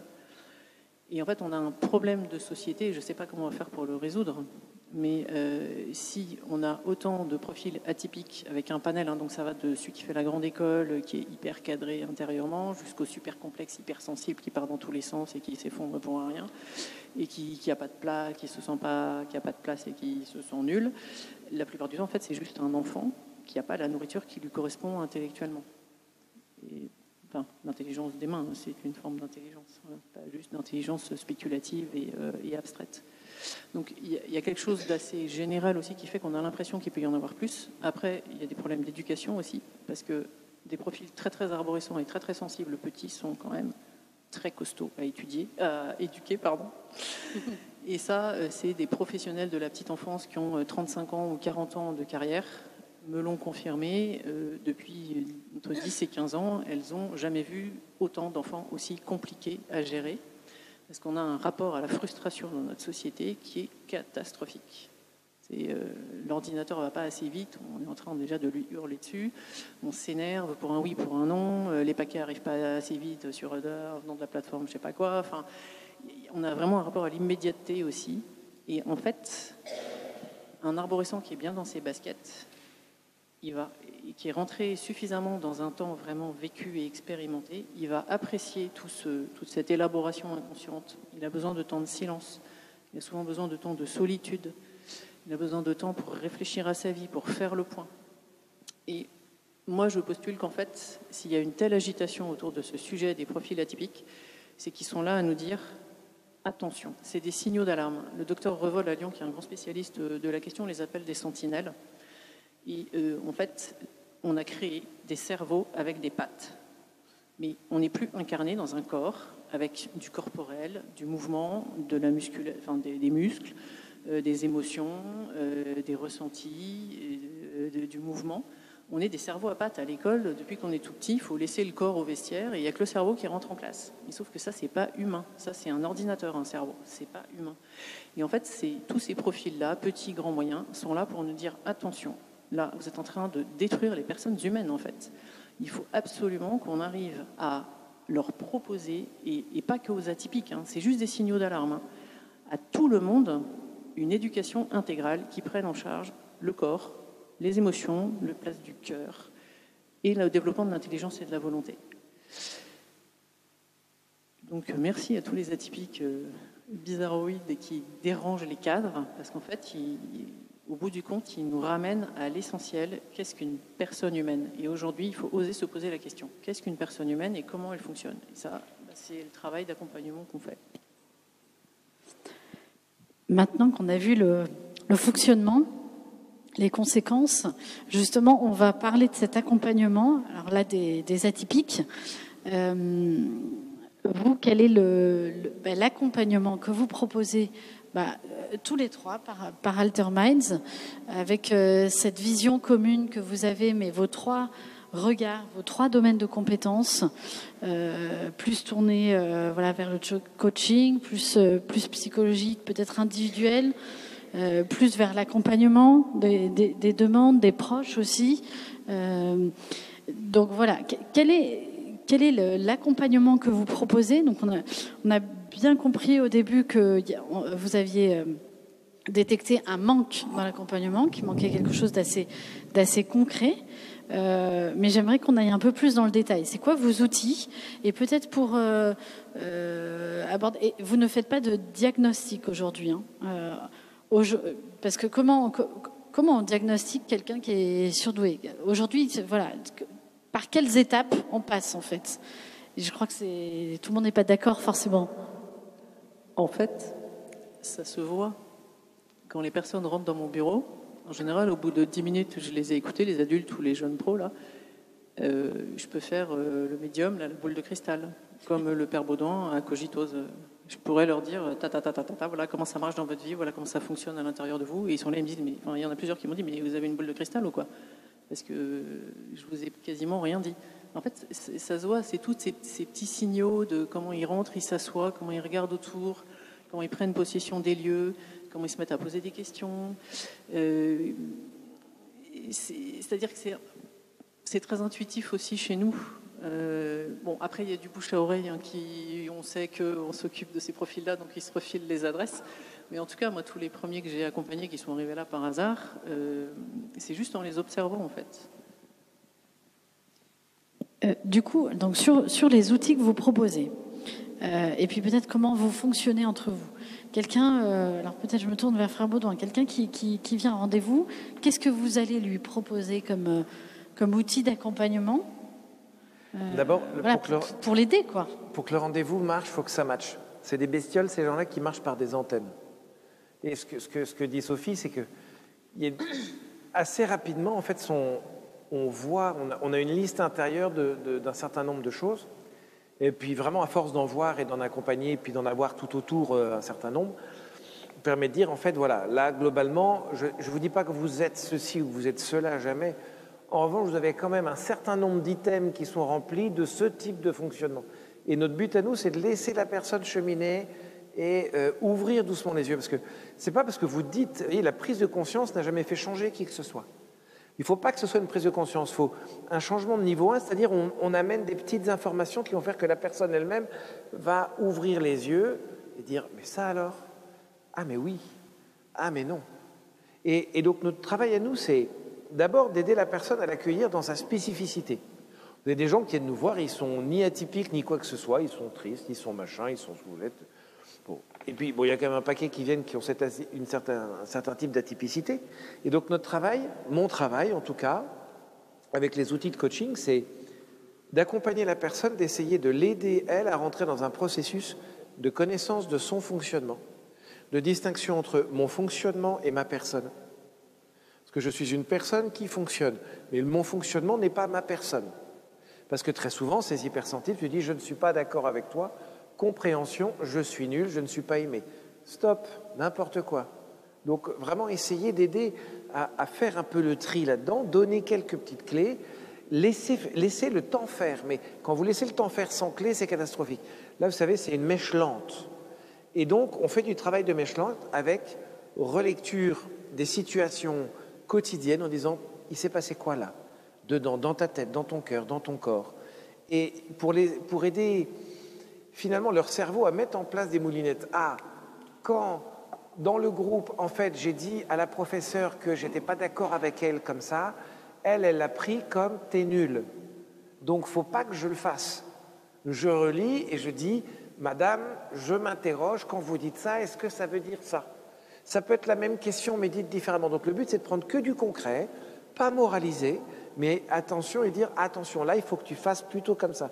Et d'amener la personne à mettre en place petit à petit elle-même ces moulinettes d'adaptation pour qu'elle soit capable de dire mais des, mais des nouvelles situations, j'observe, qu'est-ce qu'il faut que je mette en place, comment je fais, etc. pour qu'après ça, elle soit autonome. Et on l'a au téléphone, je sais qu'en en 3-4 séances, la plupart du travail est fait. Après, ils partent et puis un an plus tard, ils disent écoutez, on n'en a pas eu besoin. Je dis vous allez bien? Ben ouais. Mais voilà, le travail est fait alors comment, vous répartissez les demandes entre vous? Vous avez chacun votre spécialité euh, Chacun, en fait, a, notre travail à nous, c'est pas de travailler dans l'accompagnement des gens personnellement en, divisant les gens à trois. Notre travail à nous, c'est on s'est retrouvés autour de cette manière de voir les choses, des outils qu'on avait mis en place les uns les autres pour pouvoir parler, comme on vous le partage ce soir simplement. En fait, sont des outils très simples mais qui ont nécessité des années de travail pour dire, c'est quand c'est simple, c'est souvent derrière, parce que c'est le fruit de tout un truc. Et on est arrivé aux, mêmes conclusions. Donc notre travail à nous, c'est d'accompagner, euh, par exemple, des, responsables dans des séminaires ou des couvents, des responsables pour aider ceux qui sont au-dessous et qui sont un peu atypiques, mais aussi pour former des professionnels de l'accompagnement, parfois même des parents, ça peut être des psys, ça peut être des coachs, ça peut être des éducateurs, à ces outils de compréhension et d'accompagnement pour qu'en fait ça se diffuse le plus possible. Euh, alors ça casse un peu un marché qui serait celui de l'accompagnement au long terme qui coûte cher. Nous, le but, c'est que les gens ils soient le plus possible libres, etc. Et donc là, on a des réseaux différents et puis on a des approches différentes. Dans l'église, je vais peut-être y aller plus. Euh, dans d'autres endroits, ce sera plus quelqu'un d'autre. Thibault. Pour que ça soit clair, euh, en fait, on accompagne chacun, tous les trois, de manière autonome, hmm. indépendante, entre guillemets, chacun dans son coin euh, et en revanche, avec Alter Minds, euh, qui est une association, euh, on va former des gens à l'accompagnement des atypiques. Donc là, c'est là où on leur donne tous les outils qu'on a, qu'on a eu, qu'on a crée au fur et à mesure, vraiment pour les rendre les plus, les plus pertinents, les plus efficaces possibles. Euh, Altermind, c'est aussi pour développer un réseau de professionnels de confiance, parce qu'il y a quand même à boire et à manger, et par rapport à notre vision, là où on se rejoint, on estime Sophie tout à l'heure parlait de la personne, euh, cette notion de personne humaine euh, est, souvent euh, soit oubliée, soit cachée derrière justement je suis ceci, je suis hypersensible, je suis zèbre, je suis machin. quand tu es d'abord une personne humaine. Donc il y a aussi une, part importante de, tout le reste de la personne qu'on va faire aussi dans les formations Alter par exemple. et, pour revenir sur un point qu'on avait un petit peu abordé en, préparant cette, euh, cette, soirée. Et puis, il y, a un mot qui est sorti tout à l'heure autour de la, moralisation.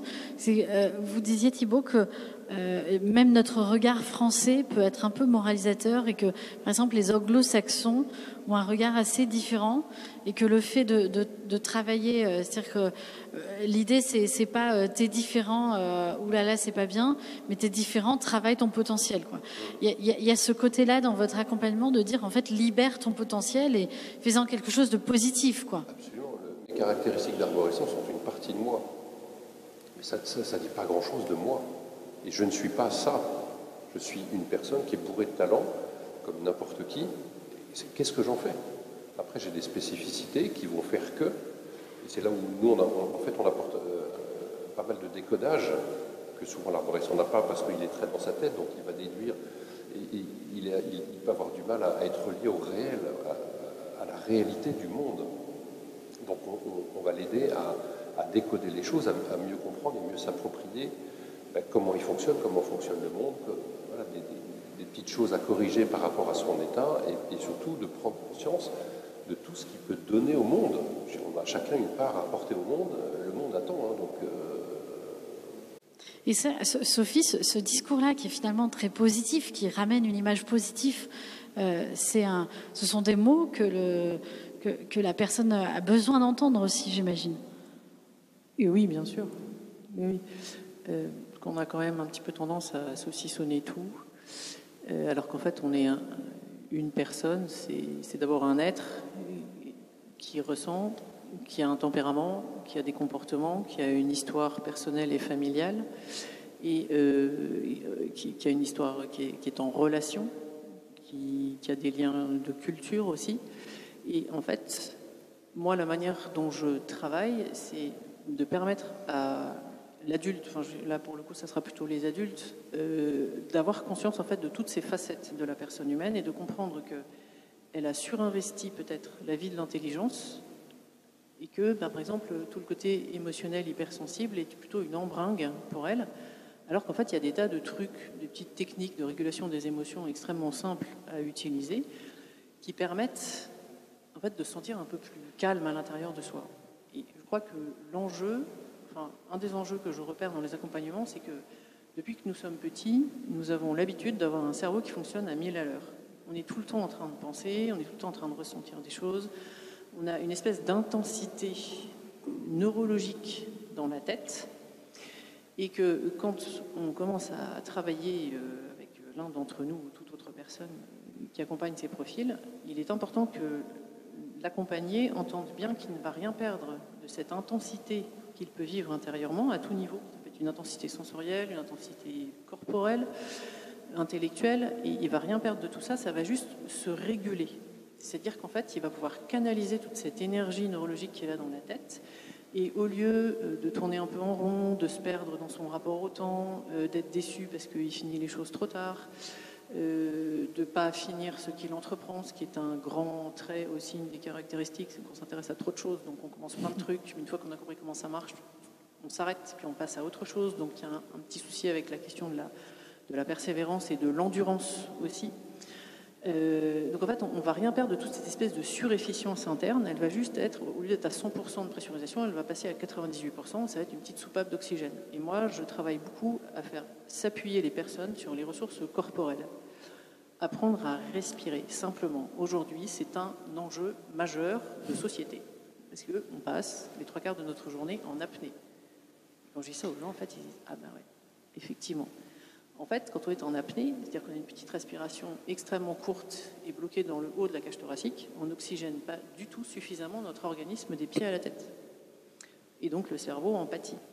Et quand on prend le temps en fait de faire ces micro-pauses de respiration consciente et profonde, il y en a qui vont faire du vitose, de la méditation de pleine conscience, euh, enfin il y a plein de trucs de la cohérence cardiaque, des choses comme ça. En fait, ces micro-pauses permettent de remettre de l'oxygène dans le cerveau et petit à petit, alors c'est tout un travail de, régularité à avoir dans sa journée, mais c'est de comprendre qu'en fait, des petites minutes comme ça freinent le flux neurologique, donnent au cerveau des petites pauses, et ce qui fait qu'en fait, on va encore mieux utiliser tout ce flux neurologique absolument génial qu'on a dans la tête.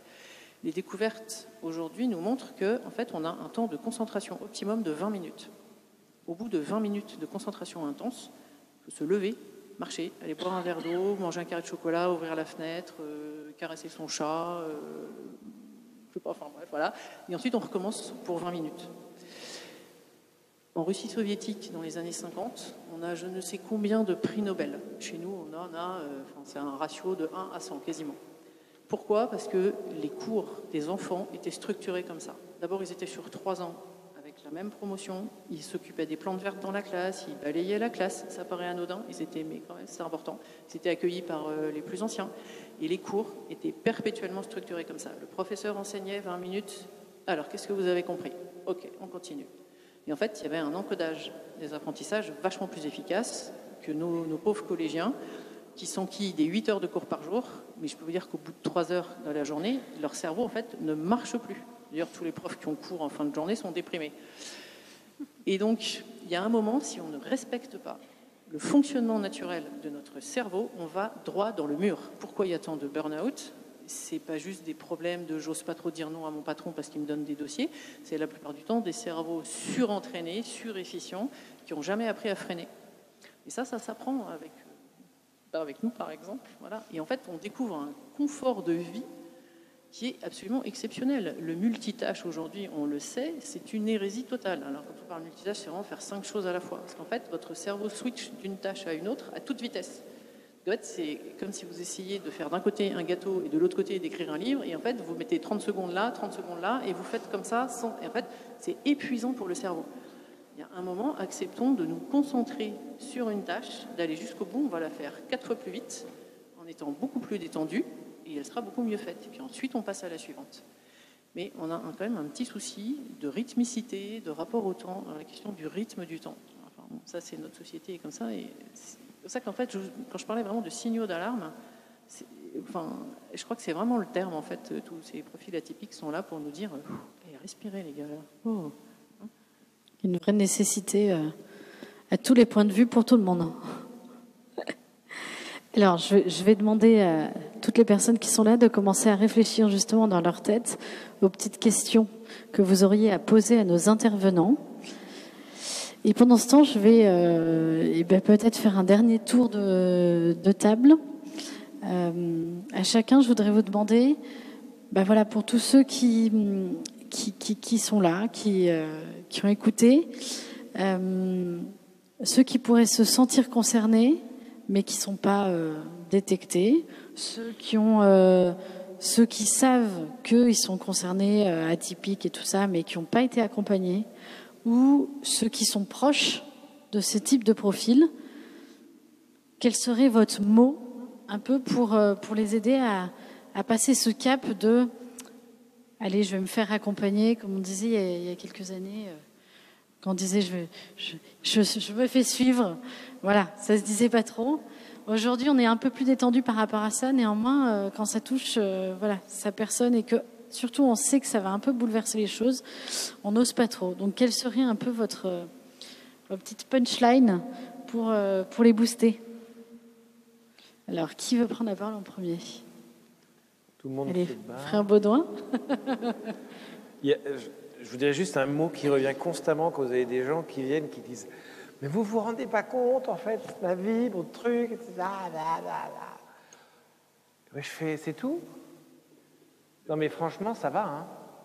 C'est d'une banalité. Euh... je voudrais vraiment dire aux gens Mais détendez-vous. Hein. Les clés sont pas compliquées. Euh, si je le fais, c'est bon, euh, vous voyez. C'est pas compliqué, c'est pas énorme. Il faut juste le faire sereinement, y aller.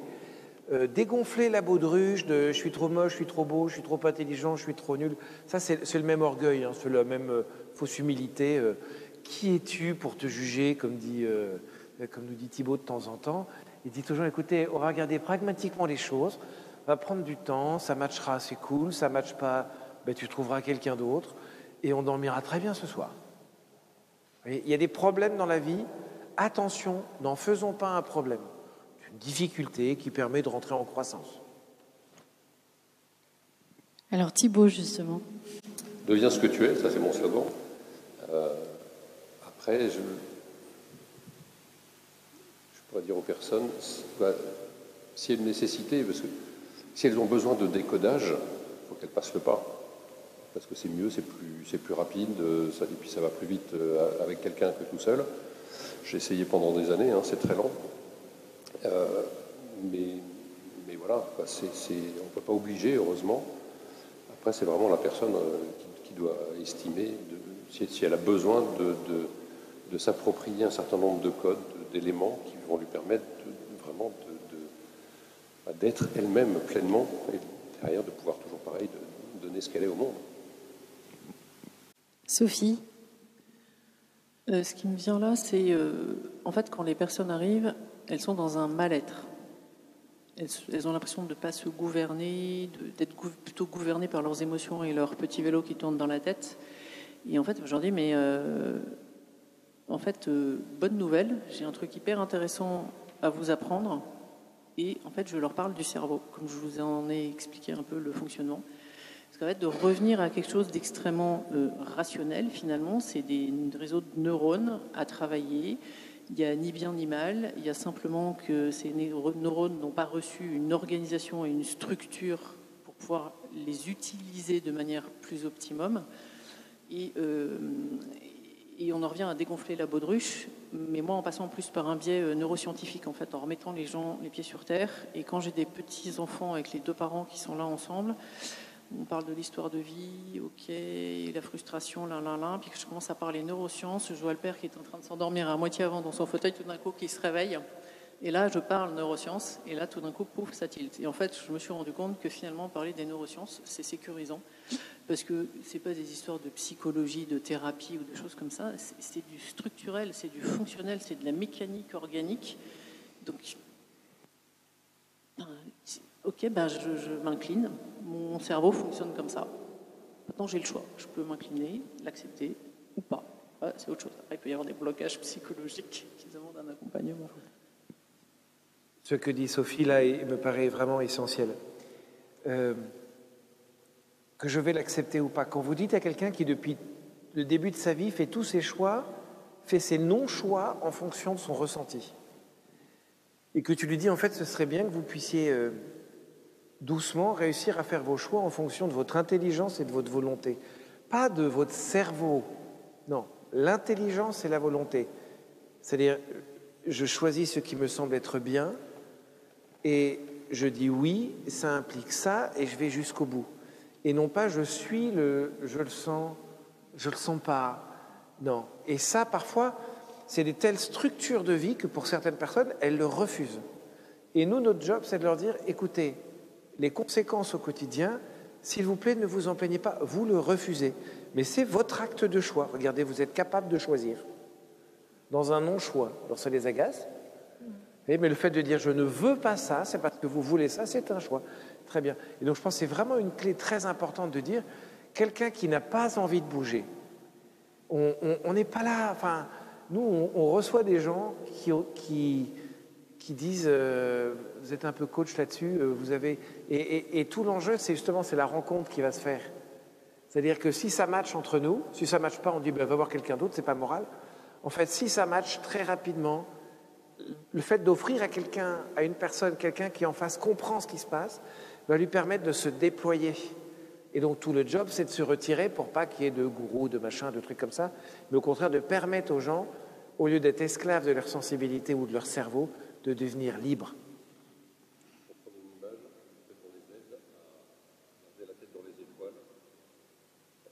Branchez votre micro.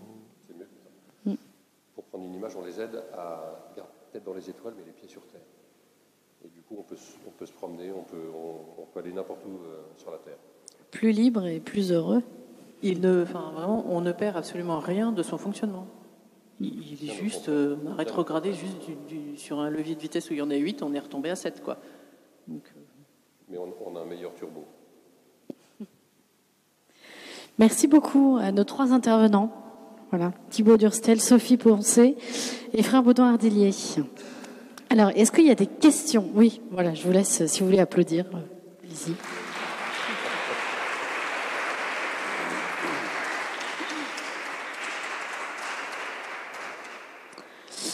Alors, est-ce qu'il y a voilà, des, questions sur euh, peut-être des points qu'on n'aurait pas abordés, des choses euh, voilà, qui n'étaient peut-être pas forcément très claires pour l'un ou l'autre Il y a une main qui se gratte la tête, c'est un début de... ça, ça veut dire je suis pas loin. On peut faire la deuxième question tout de suite si vous voulez. La première vient jamais, donc on va faire la deuxième question. Oui.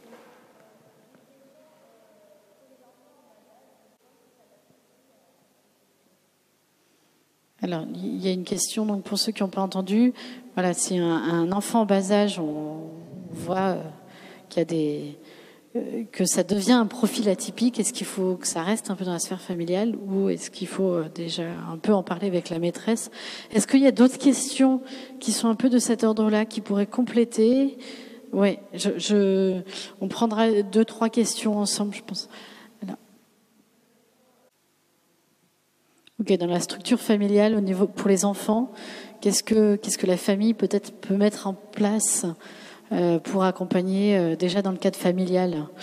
Une autre question, et puis après on, après on s'arrêtera pour faire les premières réponses. Là, on commence à voir des exemples. voilà, si soi-même on est zèbre, pour accompagner un autre qu'on pense être voilà zèbre atypique, euh, qu'on comprend pas forcément, parce que c'est peut-être pas forcément non plus le même fonctionnement. Comment ça se passe? On s'arrête là déjà pour les trois premières questions. Est-ce que l'un ou l'autre veut répondre euh, à l'une ou l'autre de ces questions? Au niveau de, voilà du contact. Alors Sophie va peut-être répondre sur euh, est-ce qu'il faut en parler à la maîtresse ou pas, je crois. En fait, quand il y a un souci comportement de comportement à l'école, que la maîtresse ou le maître font trop souvent des réflexions et ne comprennent pas le comportement de l'enfant, là, effectivement, ça peut être intéressant d'aller consulter un professionnel qui peut établir éventuellement même un diagnostic et euh, donner un petit mode d'emploi ou aller discuter avec euh, l'enseignant. Maintenant, il y a plein d'enfants atypiques à l'école, euh, ils n'ont pas de soucis particuliers. Ça se voit peut-être plus à la maison dans l'expression des émotions, mais à l'école, il y en a, ils ont quand même compris les codes et comment ça marche. C'est plutôt quand il y a vraiment un problème de comportement à l'école que là, on va intervenir. Après, ça, c'est pour les, plutôt pour les petits. Ensuite, au fur et à mesure qu'ils grandissent, on peut davantage discuter avec eux sur comment ça marche, en fait. Les apprentissages, euh, la maîtresse, qu'est-ce qu'elle attend, euh, comment faire pour faire ses devoirs, comment est-ce que tu as compris que ça marche, en fait. On va toujours interroger sur le fonctionnement des apprentissages, du cerveau, comment tu fais pour retenir dans ta mémoire. Que la, la mémoire, l'intelligence, moi, à l'âge de 5 ans, je leur fais des cours de neuro dans mon bureau parce que c'est concret. Souvent, ils ont déjà entendu parler du cerveau. Euh, quand ils commencent, alors après, voilà, quand plus, ils grandissent, plus c'est facile de discuter avec eux. Et euh, quand ils sont en école primaire, souvent on peut leur dire, bah, écoute, tiens, est-ce que tu aurais besoin de t'asseoir, d'avoir un truc sous tes pieds aussi pour pouvoir bouger un peu tes jambes parce que tu as un peu de mal à rester concentré? Euh, il y a celui qui va aller chercher un livre une fois qu'il a fini. Enfin, il y a plein de petits aménagements pédagogiques pas très compliqués, me semble-t-il, qu'on peut déjà mettre en place, donner un devoir supplémentaire, une fiche de lecture en plus au fur et à mesure qu'ils grandissent, quand ils arrivent au collège, bah, je leur propose de faire un mode d'emploi de chacun de leurs professeurs. Ok, bah tu observes, tu check. Ok, ton avis, celui-là, qu'est-ce qu'il lui faut Comment on apprend les leçons pour lui Qu'est-ce qu'il attend euh, Tu fais sa fiche d'identité en fait. Et puis, bah, tu es intelligent, donc tu vas comme ça t'adapter à chacun de tes profs. Et puis tu vas traverser l'année comme ça. Et puis, le truc important, c'est d'apprendre qu'on peut travailler même si on n'aime pas son professeur. Ça, il faut bien leur dire à un moment. Euh, Là-dessus, je peux donner des, exemples tout simples pour des, collégiens, par exemple, euh, ou des lycéens. On peut en prendre un, par exemple. Vous en avez qui sont, qui sont visuels. Il y en a, ils voient un truc, ils leur tiennent. Il y en a, ils l'entendent, ils leur tiennent. Pendant ce temps-là, ils ont besoin de dessiner. Moi, j'ai des souvenirs de cours où la clé, c'est si tu as besoin de bouger, comme personne ici dans l'assemblée, vas-y, bouge. Si tu veux dormir, tu dors. Personne ne dort jamais. Parce que ça, mais parce qu'ils sont au contraire, ils disent qu'est-ce qui se passe euh, en revanche, vous avez le droit de dessiner, vous avez le droit de faire ça. Et puis, pour les, ça, c'est pour leur donner un peu d'espace. Donc, il y a plein de manières de faire. Euh, et puis, eux, ils doivent s'adapter. Par exemple, quand vous avez un élève qui est comme ça devant la fenêtre, mais qui en fait regarde les oiseaux, mais écoute, le prof dit cet élève s'en fout. Donc, il faut apprendre au gamin à dire c'est une question par cours et toutes les dix minutes, tu fais mm ouais. Ah ouais. Et puis tu notes ils disent ouais, je peux faire ça, ben si. Et à partir de là, les profs leur foutaient la paix parce qu'ils savaient qu'il y avait une question par cours. Parce que le prof, faut qu'il soit rassuré aussi. Vous voyez, un gamin qui est comme ça, qui ouais, le prof, c'est horrible. Vous voyez, il dit mais je suis nul, mon cours, enfin c'est juste maltraitant. Il faut penser à les aider pour qu'ils ne soient pas maltraitants vis-à-vis de leurs profs, de leurs parents, etc. Et donc ça, c'est un truc je pense important. Et je rajouterais notamment par rapport à la question, pour l'entourage, euh, essayer d'observer les gens. Est-ce qu'ils sont prêts à entendre ça? Notre ami Pierre Desproges, que certains ont connu, euh, nous dit en groupe avec n'importe qui. C'est un sujet qui, est touchy, justement, qui est bourré de moralisme, qui peut être mal interprété. Les profs, si on leur dit que mon enfant est surdoué, machin, pour qu'ils se prennent ces, ces gens-là, ils s'appellent et tout ça. Donc, ça ne sert à rien de discuter avec ces gens-là, ça ne sert à rien de leur expliquer. C'est là où il faut être intelligent et on en revient à la personne. Donnons de l'attention à l'autre, que ce soit la prof, que ce soit euh, un élève, un, patron, un collègue. Euh, en fait, qu'est-ce qu'il me dit de, sa compréhension du sujet? Est-ce qu'il est apte à entendre ça? Est-ce qu'il est prêt? Jusqu'où je peux aller? Et, en fait, on tâtonne, hein, on, y va, tout doucement. Mais voilà, c'est une bonne clé. Il y avait une question du monsieur sur euh, comment je fais moi pour Voilà. gérer quand j'ai un small là, qui est zèbre et que je suis en plein boulot? Parce que ça, c'est compliqué. Parce que, euh, bon, les, chats, les chiens font pas des chats en général. Sauf que comme ils sont pas pareils que le chien, enfin, vous voyez, c'est- pas les mêmes. Et donc, si en plus, tu es en train de réfléchir toi-même à comment tu fonctionnes, euh, ça peut être très chaud. Vous, je compte sur vous pour compléter, mais à mon avis, ce qui est intéressant, c'est d'avoir un regard sur l'autre qui n'est pas moral. Quand tes parents, de façon, ton fils fait pas ce qu'il faut, ah, il va finir euh, drogué, euh, euh, vendeur de, de, je sais pas quoi, de chiche, de, de, de- dire du hachis. Il, va, il va finir drogué, vendeur de drogue, etc., parce qu'il fait pas comme moi je pense qu'il doit être. En fait, ce regard moral, c'est comme si vous demandiez à une mère de ne pas penser avec ses tripes. C'est pas possible. Ça, papa, il va faire pareil. Donc, il faut s'y mettre à plusieurs, souvent les deux parents, et il faut, pose l'hypothèse qu'il pourrait être ainsi fait, et regarder comment il fonctionne, quelle est son attente, et surtout sur quel bouton ce gamin m'appuie? Parce que quand le gamin il vous scanne, il te regarde en deux minutes, il t'a compris, hein, toi le papa, la maman, il a fait le tour de vous, il sait exactement où il faut, où il faut euh, appuyer comme bouton. Il sait très bien là où ça va faire mal, là où ça va. Là, ça va te faire péter les plombs. Un petit sourire, un petit. hmm, et là, tu pètes les plombs. Hein oui. On s'occupe de lui, c'est juste un. Voilà. Et donc en fait, il t'a appuyé sur le bouton parce que et donc faut c'est bien d'avoir quelqu'un pour prendre un peu de recul pour dire t'as pas remarqué qu'à chaque fois que tu punis ton gamin, ton gamin il finit les phrases, t'as pas le dernier mot, c'est lui qui a le dernier mot. Pourquoi? Parce que pendant ce temps-là, tu es là avec lui, il joue avec toi, tu existes, il existe, il a l'air de c'est- et en fait, vous pouvez faire le concours de j'aurai le dernier mot. Je sais pas si vous en avez des comme ça, mais Comment tu finis le concours du dernier mot? Bon, il y a la traditionnelle baffe, mais c'est. Les douves. Euh, quand c'est le dernier mot, ça, m'est arrivé cet été. Je, je raconte, c'était en camp de vacances. Un gamin qui, euh, après trois jours, il avait négocié avec tous les animateurs et animatrices les uns après les autres pour, pour leur expliquer qu'ils n'avaient rien compris à la vie, qu'il fallait qu'ils rentrent chez lui. Et depuis, il était futé le gars. Et un jour, n'en pouvant plus, je lui dis écoute, c'est simple. Je suis plus futé que toi. Alors maintenant, tu la fermes. Tu dégages. Le mépris. Bon, après trois jours de processus long et éducatif. C'est un enfant qui avait des plaques d'eczéma, mais de partout. À partir du lendemain, les plaques d'eczéma ont commencé à disparaître. Quatre jours plus tard, il n'y en avait plus. Il n'y avait plus de la Nivea. On a pu lui racheter des chaussettes, des chaussures. Comme dans le Nord, il a pleuré deux fois. Une fois en rentrant, en arrivant pendant quatre jours, et en partant parce qu'il voulait plus partir. On lui avait jamais donné le cadre de dire en fait euh, le petit mépris qu'il avait fallu ce jour-là avait permis ça. Attention, ça ne veut pas dire que c'est ça qu'il faut faire. Vous, vous réfléchissez, vous mesurez, vous pensez, faites de la stratégie, faites de la tactique, mais s'il vous plaît, ne soyez pas dans un aspect moral.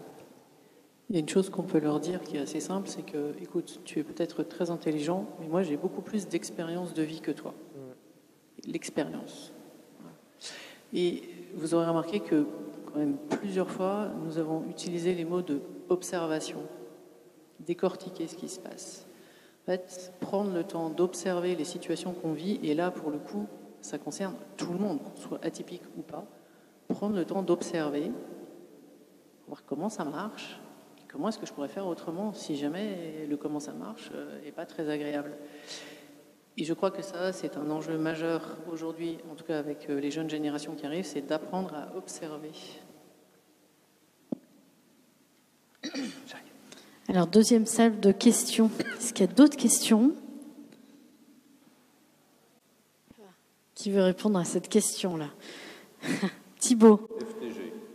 Face à ces gens-là, FTG. C'est quoi FTG Ferme ta gueule.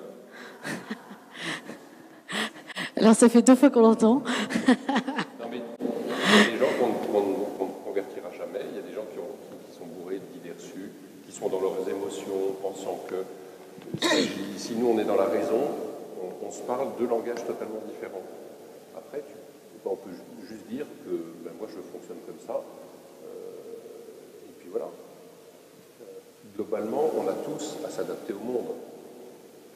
On a tous des corrections à faire. Moi, ce que je dis systématiquement dans mes accompagnements, je dis, il y a deux, trois trucs à corriger pour s'ajuster au monde et être bien dans le monde. Et c'est faisable, c'est ça ce qui est génial aussi, c'est que c'est pas compliqué. Mais tout le reste, il faut le garder, notamment le côté pète au casque, le truc improbable, c'est ce qui change le monde. C'est pas le comptable qui change le monde, hein, ça, ça se saurait.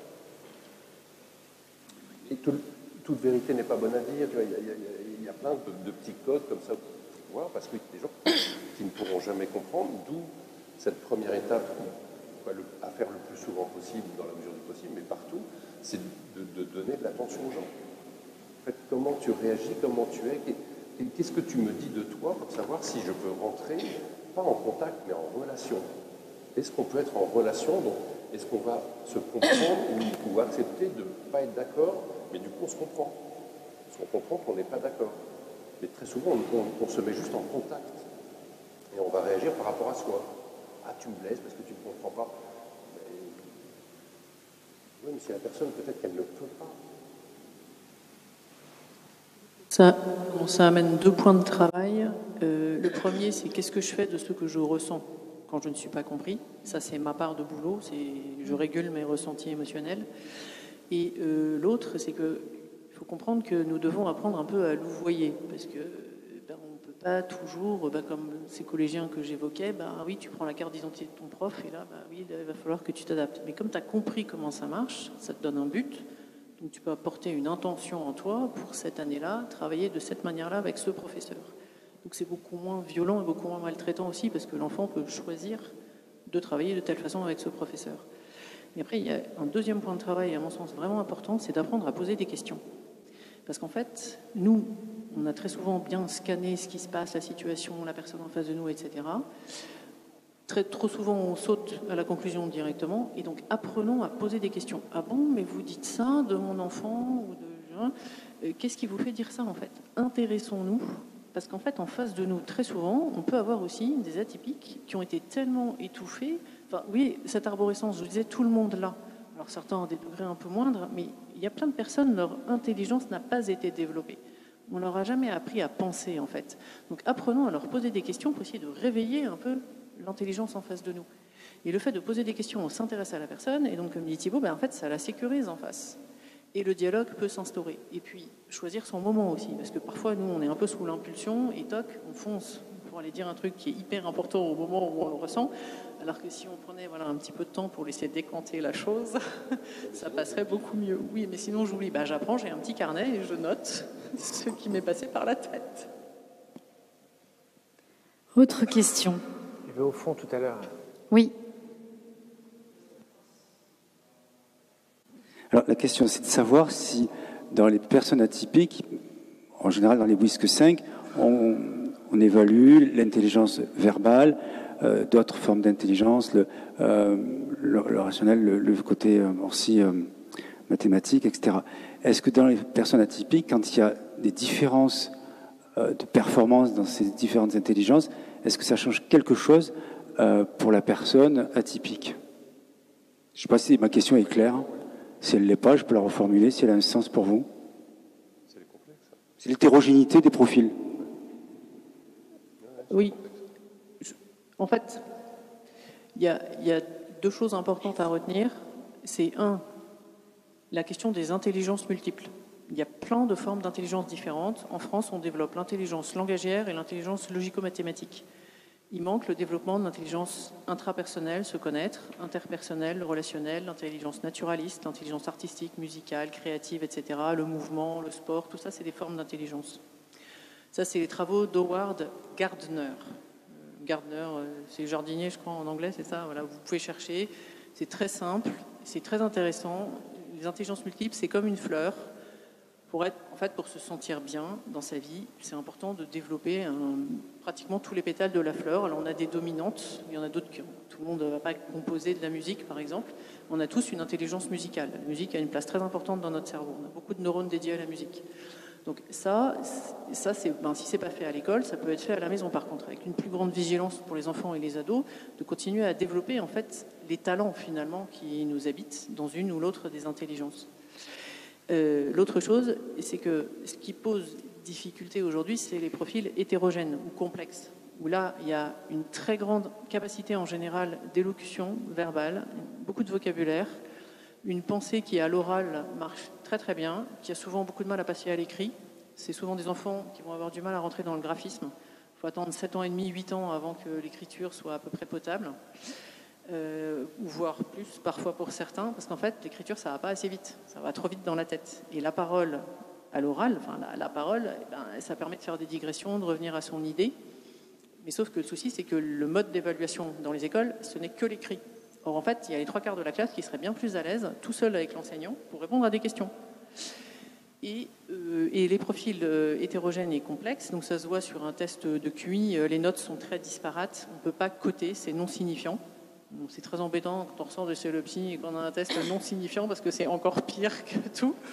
En fait, c'est juste, et là les, là, les psys sont souvent très embarrassés parce qu'ils ne savent pas comment euh, accompagner. C'est juste ces profils hétérogènes, en fait, ils ont besoin d'aller travailler sur l'émotionnel pour déjà réguler un peu tous les parasites émotionnels qui les empêchent de travailler. Rien que ça, déjà, le profil devient un peu plus homogène. Et puis, euh, et de comprendre que peut-être il va falloir aménager les devoirs à la maison, travailler debout, assis par terre, allongé sur son lit, euh, à genoux, assis sur un ballon, euh, en parlant à voix haute, beaucoup plus. Et en fait, on va accompagner comme ça les parents à aider leurs enfants au moins à la maison, si c'est possible aussi à l'école. Parler à voix haute dans une classe, c'est un peu compliqué aujourd'hui. et là, on va réduire l'hétérogénéité.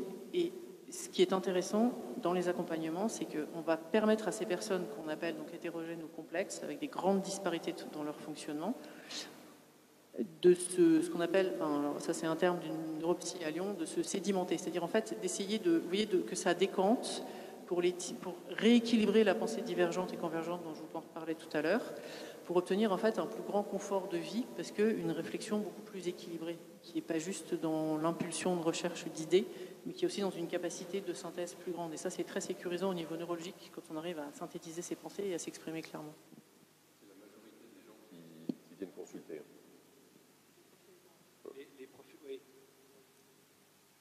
Les, profils hétérogènes dont vous parlez, je voudrais revenir sur le, NS, non signifiant.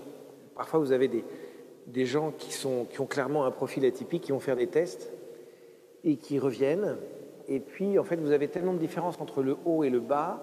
Vous avez un truc qui est comme ça, et puis tout à coup, clac, ça vous fait un machin cardiaque. Et on vous dit, ben là, en fait, on ne peut pas faire légitimement une, une, moyenne, etc. Et donc, on dit, là, c'est non signifiant. Autant vous dire que c'est juste, c'est injurieux pour les gens en face. Et, et en fait, ces personnes-là, souvent, elles enchaînent les 10 dysgraphies, 10 machins, 10 trucs, 10 bidules, etc. Et c'est pas du tout des neuneux. Pas du tout. C'est juste l'équilibre entre la force du cerveau, la capacité de l'exprimer, de le dire, de le faire, de machin, de prendre le stylo pour dire ce que mon cerveau veut dire, alors qu'une chanson serait capable de le dire. Mais je ne peux pas l'écrire. En revanche, je saurais le faire en sketch. Et, je serais et, en fait, tous ces profils atypiques, hétérogènes, c'est ceux-là qui ont vraiment besoin d'aide pour euh, passer du non significatif à, Waouh, attends, c'est pas, pas un problème, on va regarder euh, Calmos. Et, il n'y a pas longtemps, j'étais très heureux, il y a une maman qui m'a dit écoute, mon fils a refait un profil quelques années après. Le truc, c'était tout à fait sédimenté. Et donc, c'est hyper important de ne vous identifier pas à un profil, à un mode de fonctionnement, parce que vous êtes, nous sommes au-delà de ça. Au contraire, comment mon mode de fonctionnement va s'adapter? Je terminerai moi là-dessus en disant il y a des choses que vous n'arriverez pas à adapter, ce sera un handicap, il faudra apprendre à vivre avec. Je vous donne un exemple, l'hyperacousie par exemple. Si vous êtes en pleine forme et que votre cerveau dispose de tout, il va mettre en place le filtre et ça va vachement bien se passer. La capacité à être en groupe, 8 heures de réunion dans la journée, c'est génial. Si ton cerveau il est en forme, c'est bon. Si tu rentres et que tu as travaillé, ton cerveau il est fatigué, qu'il ne peut pas, et eh bien ce jour-là, ce handicap va se montrer, va se, il faut être capable de dire c'est pas ma faute. Là, je ne suis pas capable. Je ne peux pas. Et ça vous permettra, il me semble, d'avoir une vie beaucoup, plus euh, équilibrée, passant du non pas du je suis nul à je suis surdoué, mais à j'ai une vraie, j'ai un certain nombre de capacités importantes, mais avec de véritables limites, un peu comme une épine dans la chair, qui permettent peut-être de se réjouir quand ces capacités, on peut les mettre au service qui sait, euh, j'ai les citer Otis, je vous laisse, euh, qui sait du bien commun Euh, et en même temps, à côté de ça, les gens disent ben, C'est génial ce que tu fais. Oui, mais là, je suis un peu compliqué. Et, en fait, je, peux, je pense que ça peut permettre d'avoir et la gloire des belles choses mêlée à l'humilité nécessaire pour avoir une vie finalement spirituellement équilibrée.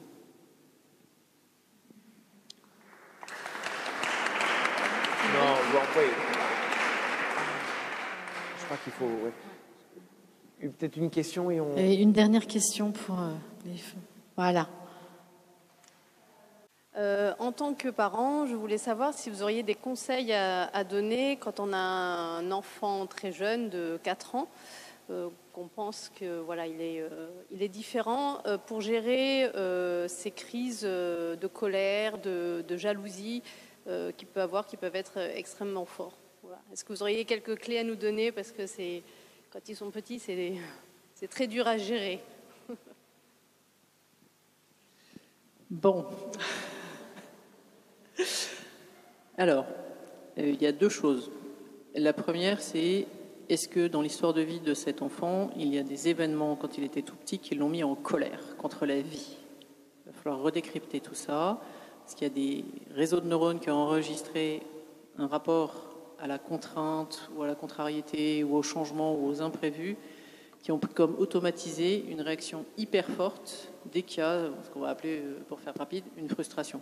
Un truc qui n'est pas comme lui, il pense dans sa tête. Mais ça peut être simplement, il n'arrive pas avec ses mains à réaliser une construction et pouf, ça dégénère. Ça, c'est pour le côté plus psy, plus affectif. Maintenant, un enfant de, 4 ans, aujourd'hui, on a plein d'outils pour expliquer qu'est-ce que c'est que les émotions, comment ça marche. Euh, et puis, franchement, mais alors, mais la clé, c'est le défoulement physique d'autoriser le défoulement physique et d'encourager, comme l'entraîneur au bord du ring. Là, je dis aux parents, euh, allez-y, vas-y, allez, crie plus fort ta colère, il faut que ça sorte, là, il y en a marre. Et puis, oh, moi, cette colère, je vais la gronder. Et puis, ça marche très bien de gronder les colères des enfants. Parce qu'en fait, ça les décentre. C'est plus eux le problème, c'est la colère, en fait. Et ça leur apprend à différencier l'être et l'acte. C'est juste ton comportement que je n'aime pas, mais ça, c'est un peu compliqué à comprendre à 4 ans. En revanche, gronder la colère, souvent, ça aide. Et puis on va aller taper le coussin, ou aller euh, sortir dans le jardin, euh, lancer des cailloux dans une caisse, j'en sais rien, taper avec des bâtons par terre. Et à un moment, il faut que le corps rentre en ligne de compte pour réguler les émotions des enfants. Parce qu'un enfant, jusqu'à 5-6 ans, le système de régulation des émotions dans son cerveau, il est encore en train de se connecter. C'est comme si les filtres émotionnels au centre du cerveau, en fait, n'étaient pas toujours très opérationnels. Ça fait des passoires avec des gros trous, puis temps c'est des petits trous, parce que ça y est, c'est le, réseau de neurones qui a bien maturé, qui est aux commandes, et d'autres fois, c'est le réseau de neurones encore un peu ancien qui réagit à l'impulsivité. Et là, clairement, on est dans une société où en fait les enfants n'ont pas beaucoup de temps et de place pour bouger. Euh, ils sont à la crèche, à la garderie, à l'école, c'est petit. Euh, enfin, je ne sais pas comment c'est à Avignon, pardon, moi j'habite à Lyon mais des cours d'école minuscules et goudronnés. Euh, et puis on ne peut pas sortir pour aller courir 5 minutes parce qu'il faut qu'il y ait un surveillant dans la cour. S'il n'y en a pas, ce n'est pas possible. La loi dit que ce n'est pas possible de laisser un enfant en train de courir. En fait, on tourne en rond autour du problème de la place du corps dans notre société. Voyez, votre question emmène à des... je pense qu'on va terminer là. Merci à tous et merci à nos trois intervenants. Je voudrais juste rajouter le club Mustang, juste que, vous sachiez, et, euh, que j'ai démarré à Lyon il y, a, il 5 ans. Le, Mustang en image animalière, pour moi, est plus pertinent que le zèbre. Euh, c'est un peu, la, même chose, c'est un cheval indomptable. Euh, j'ai créé ce club il y a 5-6 ans à Lyon. Je, je l'ai monté à Paris aussi et je souhaite le monter dans la région, à Avignon, je ne sais pas. Je ne sais pas encore. Moi, je suis à, à Aubignan tous les week-ends partir du jeudi soir. Mon week-end commence le jeudi soir. Et pour faire des accompagnements justement ici le, jeudi, et le vendredi et le samedi. Donc si vous êtes intéressé, le, club ne marchera que si ça vous intéresse, euh, n'hésitez pas à me le dire. Le but du jeu, en fait, c'est de se rencontrer idéalement une fois par mois autour d'un thème. Je, euh, je, demande à un intervenant de justement sur un thème. Euh, alors ça peut être soit un outil, la méthode Vitose, la résolution émotionnelle, etc. Euh, ça peut être aussi sur euh, ben, les enfants, comment les gérer, parce que c'est compliqué en fonction des situations, des âges. Euh, Donc si on tape sur Internet Club Mustang, il y a un, il y a un site. Tu n'avais pas de site, il faut aller directement, il faut voir directement. L'avantage du, Club Mustang de, de, de Thibaut, c'est que ce n'est pas un club d'entre-soi, c'est vous avez des clubs d'entre-soi du cerveau on fait des concours de QI. Euh, là, euh, c'est comment on va supporter, se porter les uns les autres pour cheminer, avancer, etc. Et c'est une bonne chose. Et pour l'instant, je sais que voilà, Thibault fait des accompagnements par ici. Sophie à Lyon, moi aussi ici, mais bientôt à Orléans. Et, Et on vous retrouve avec votre site quand même? Ouais. Mais en fait, on a un problème, c'est qu'on on ne veut pas du tout promeu, pro, promeuver, promouvoir, par exemple. Parce qu'en fait, nous, il faut qu'on dorme aussi un peu, parce qu'à côté, on a, moi, par exemple, j'ai un métier, vous ne le saviez pas, mais voilà, je ne fais pas que ça. Mais, mais c'est vrai que ce, qui, ce, que nous aimons et ce qui nous tient à cœur, c'est de pouvoir vous partager ces outils, ces clés de compréhension, qui n'ont rien d'extraordinaire. C'est le fruit d'une vraie expérience, d'un vrai travail. Et, et, dans la mesure où on le peut, et c'est vrai que c'est l'avantage de Thibault qui a cette euh, c'est un métier à plein temps maintenant et qui est. Euh, c'est une vocation. C'est une vocation exactement. Et nous, ben, d'accompagner aussi dans l'ordre de la formation et de pouvoir faire ça. Et on fera le maximum pour pouvoir aider, mais surtout pour rendre des gens, pour permettre à des gens d'être autonomes. Bonne soirée à tous. Merci, bonne soirée.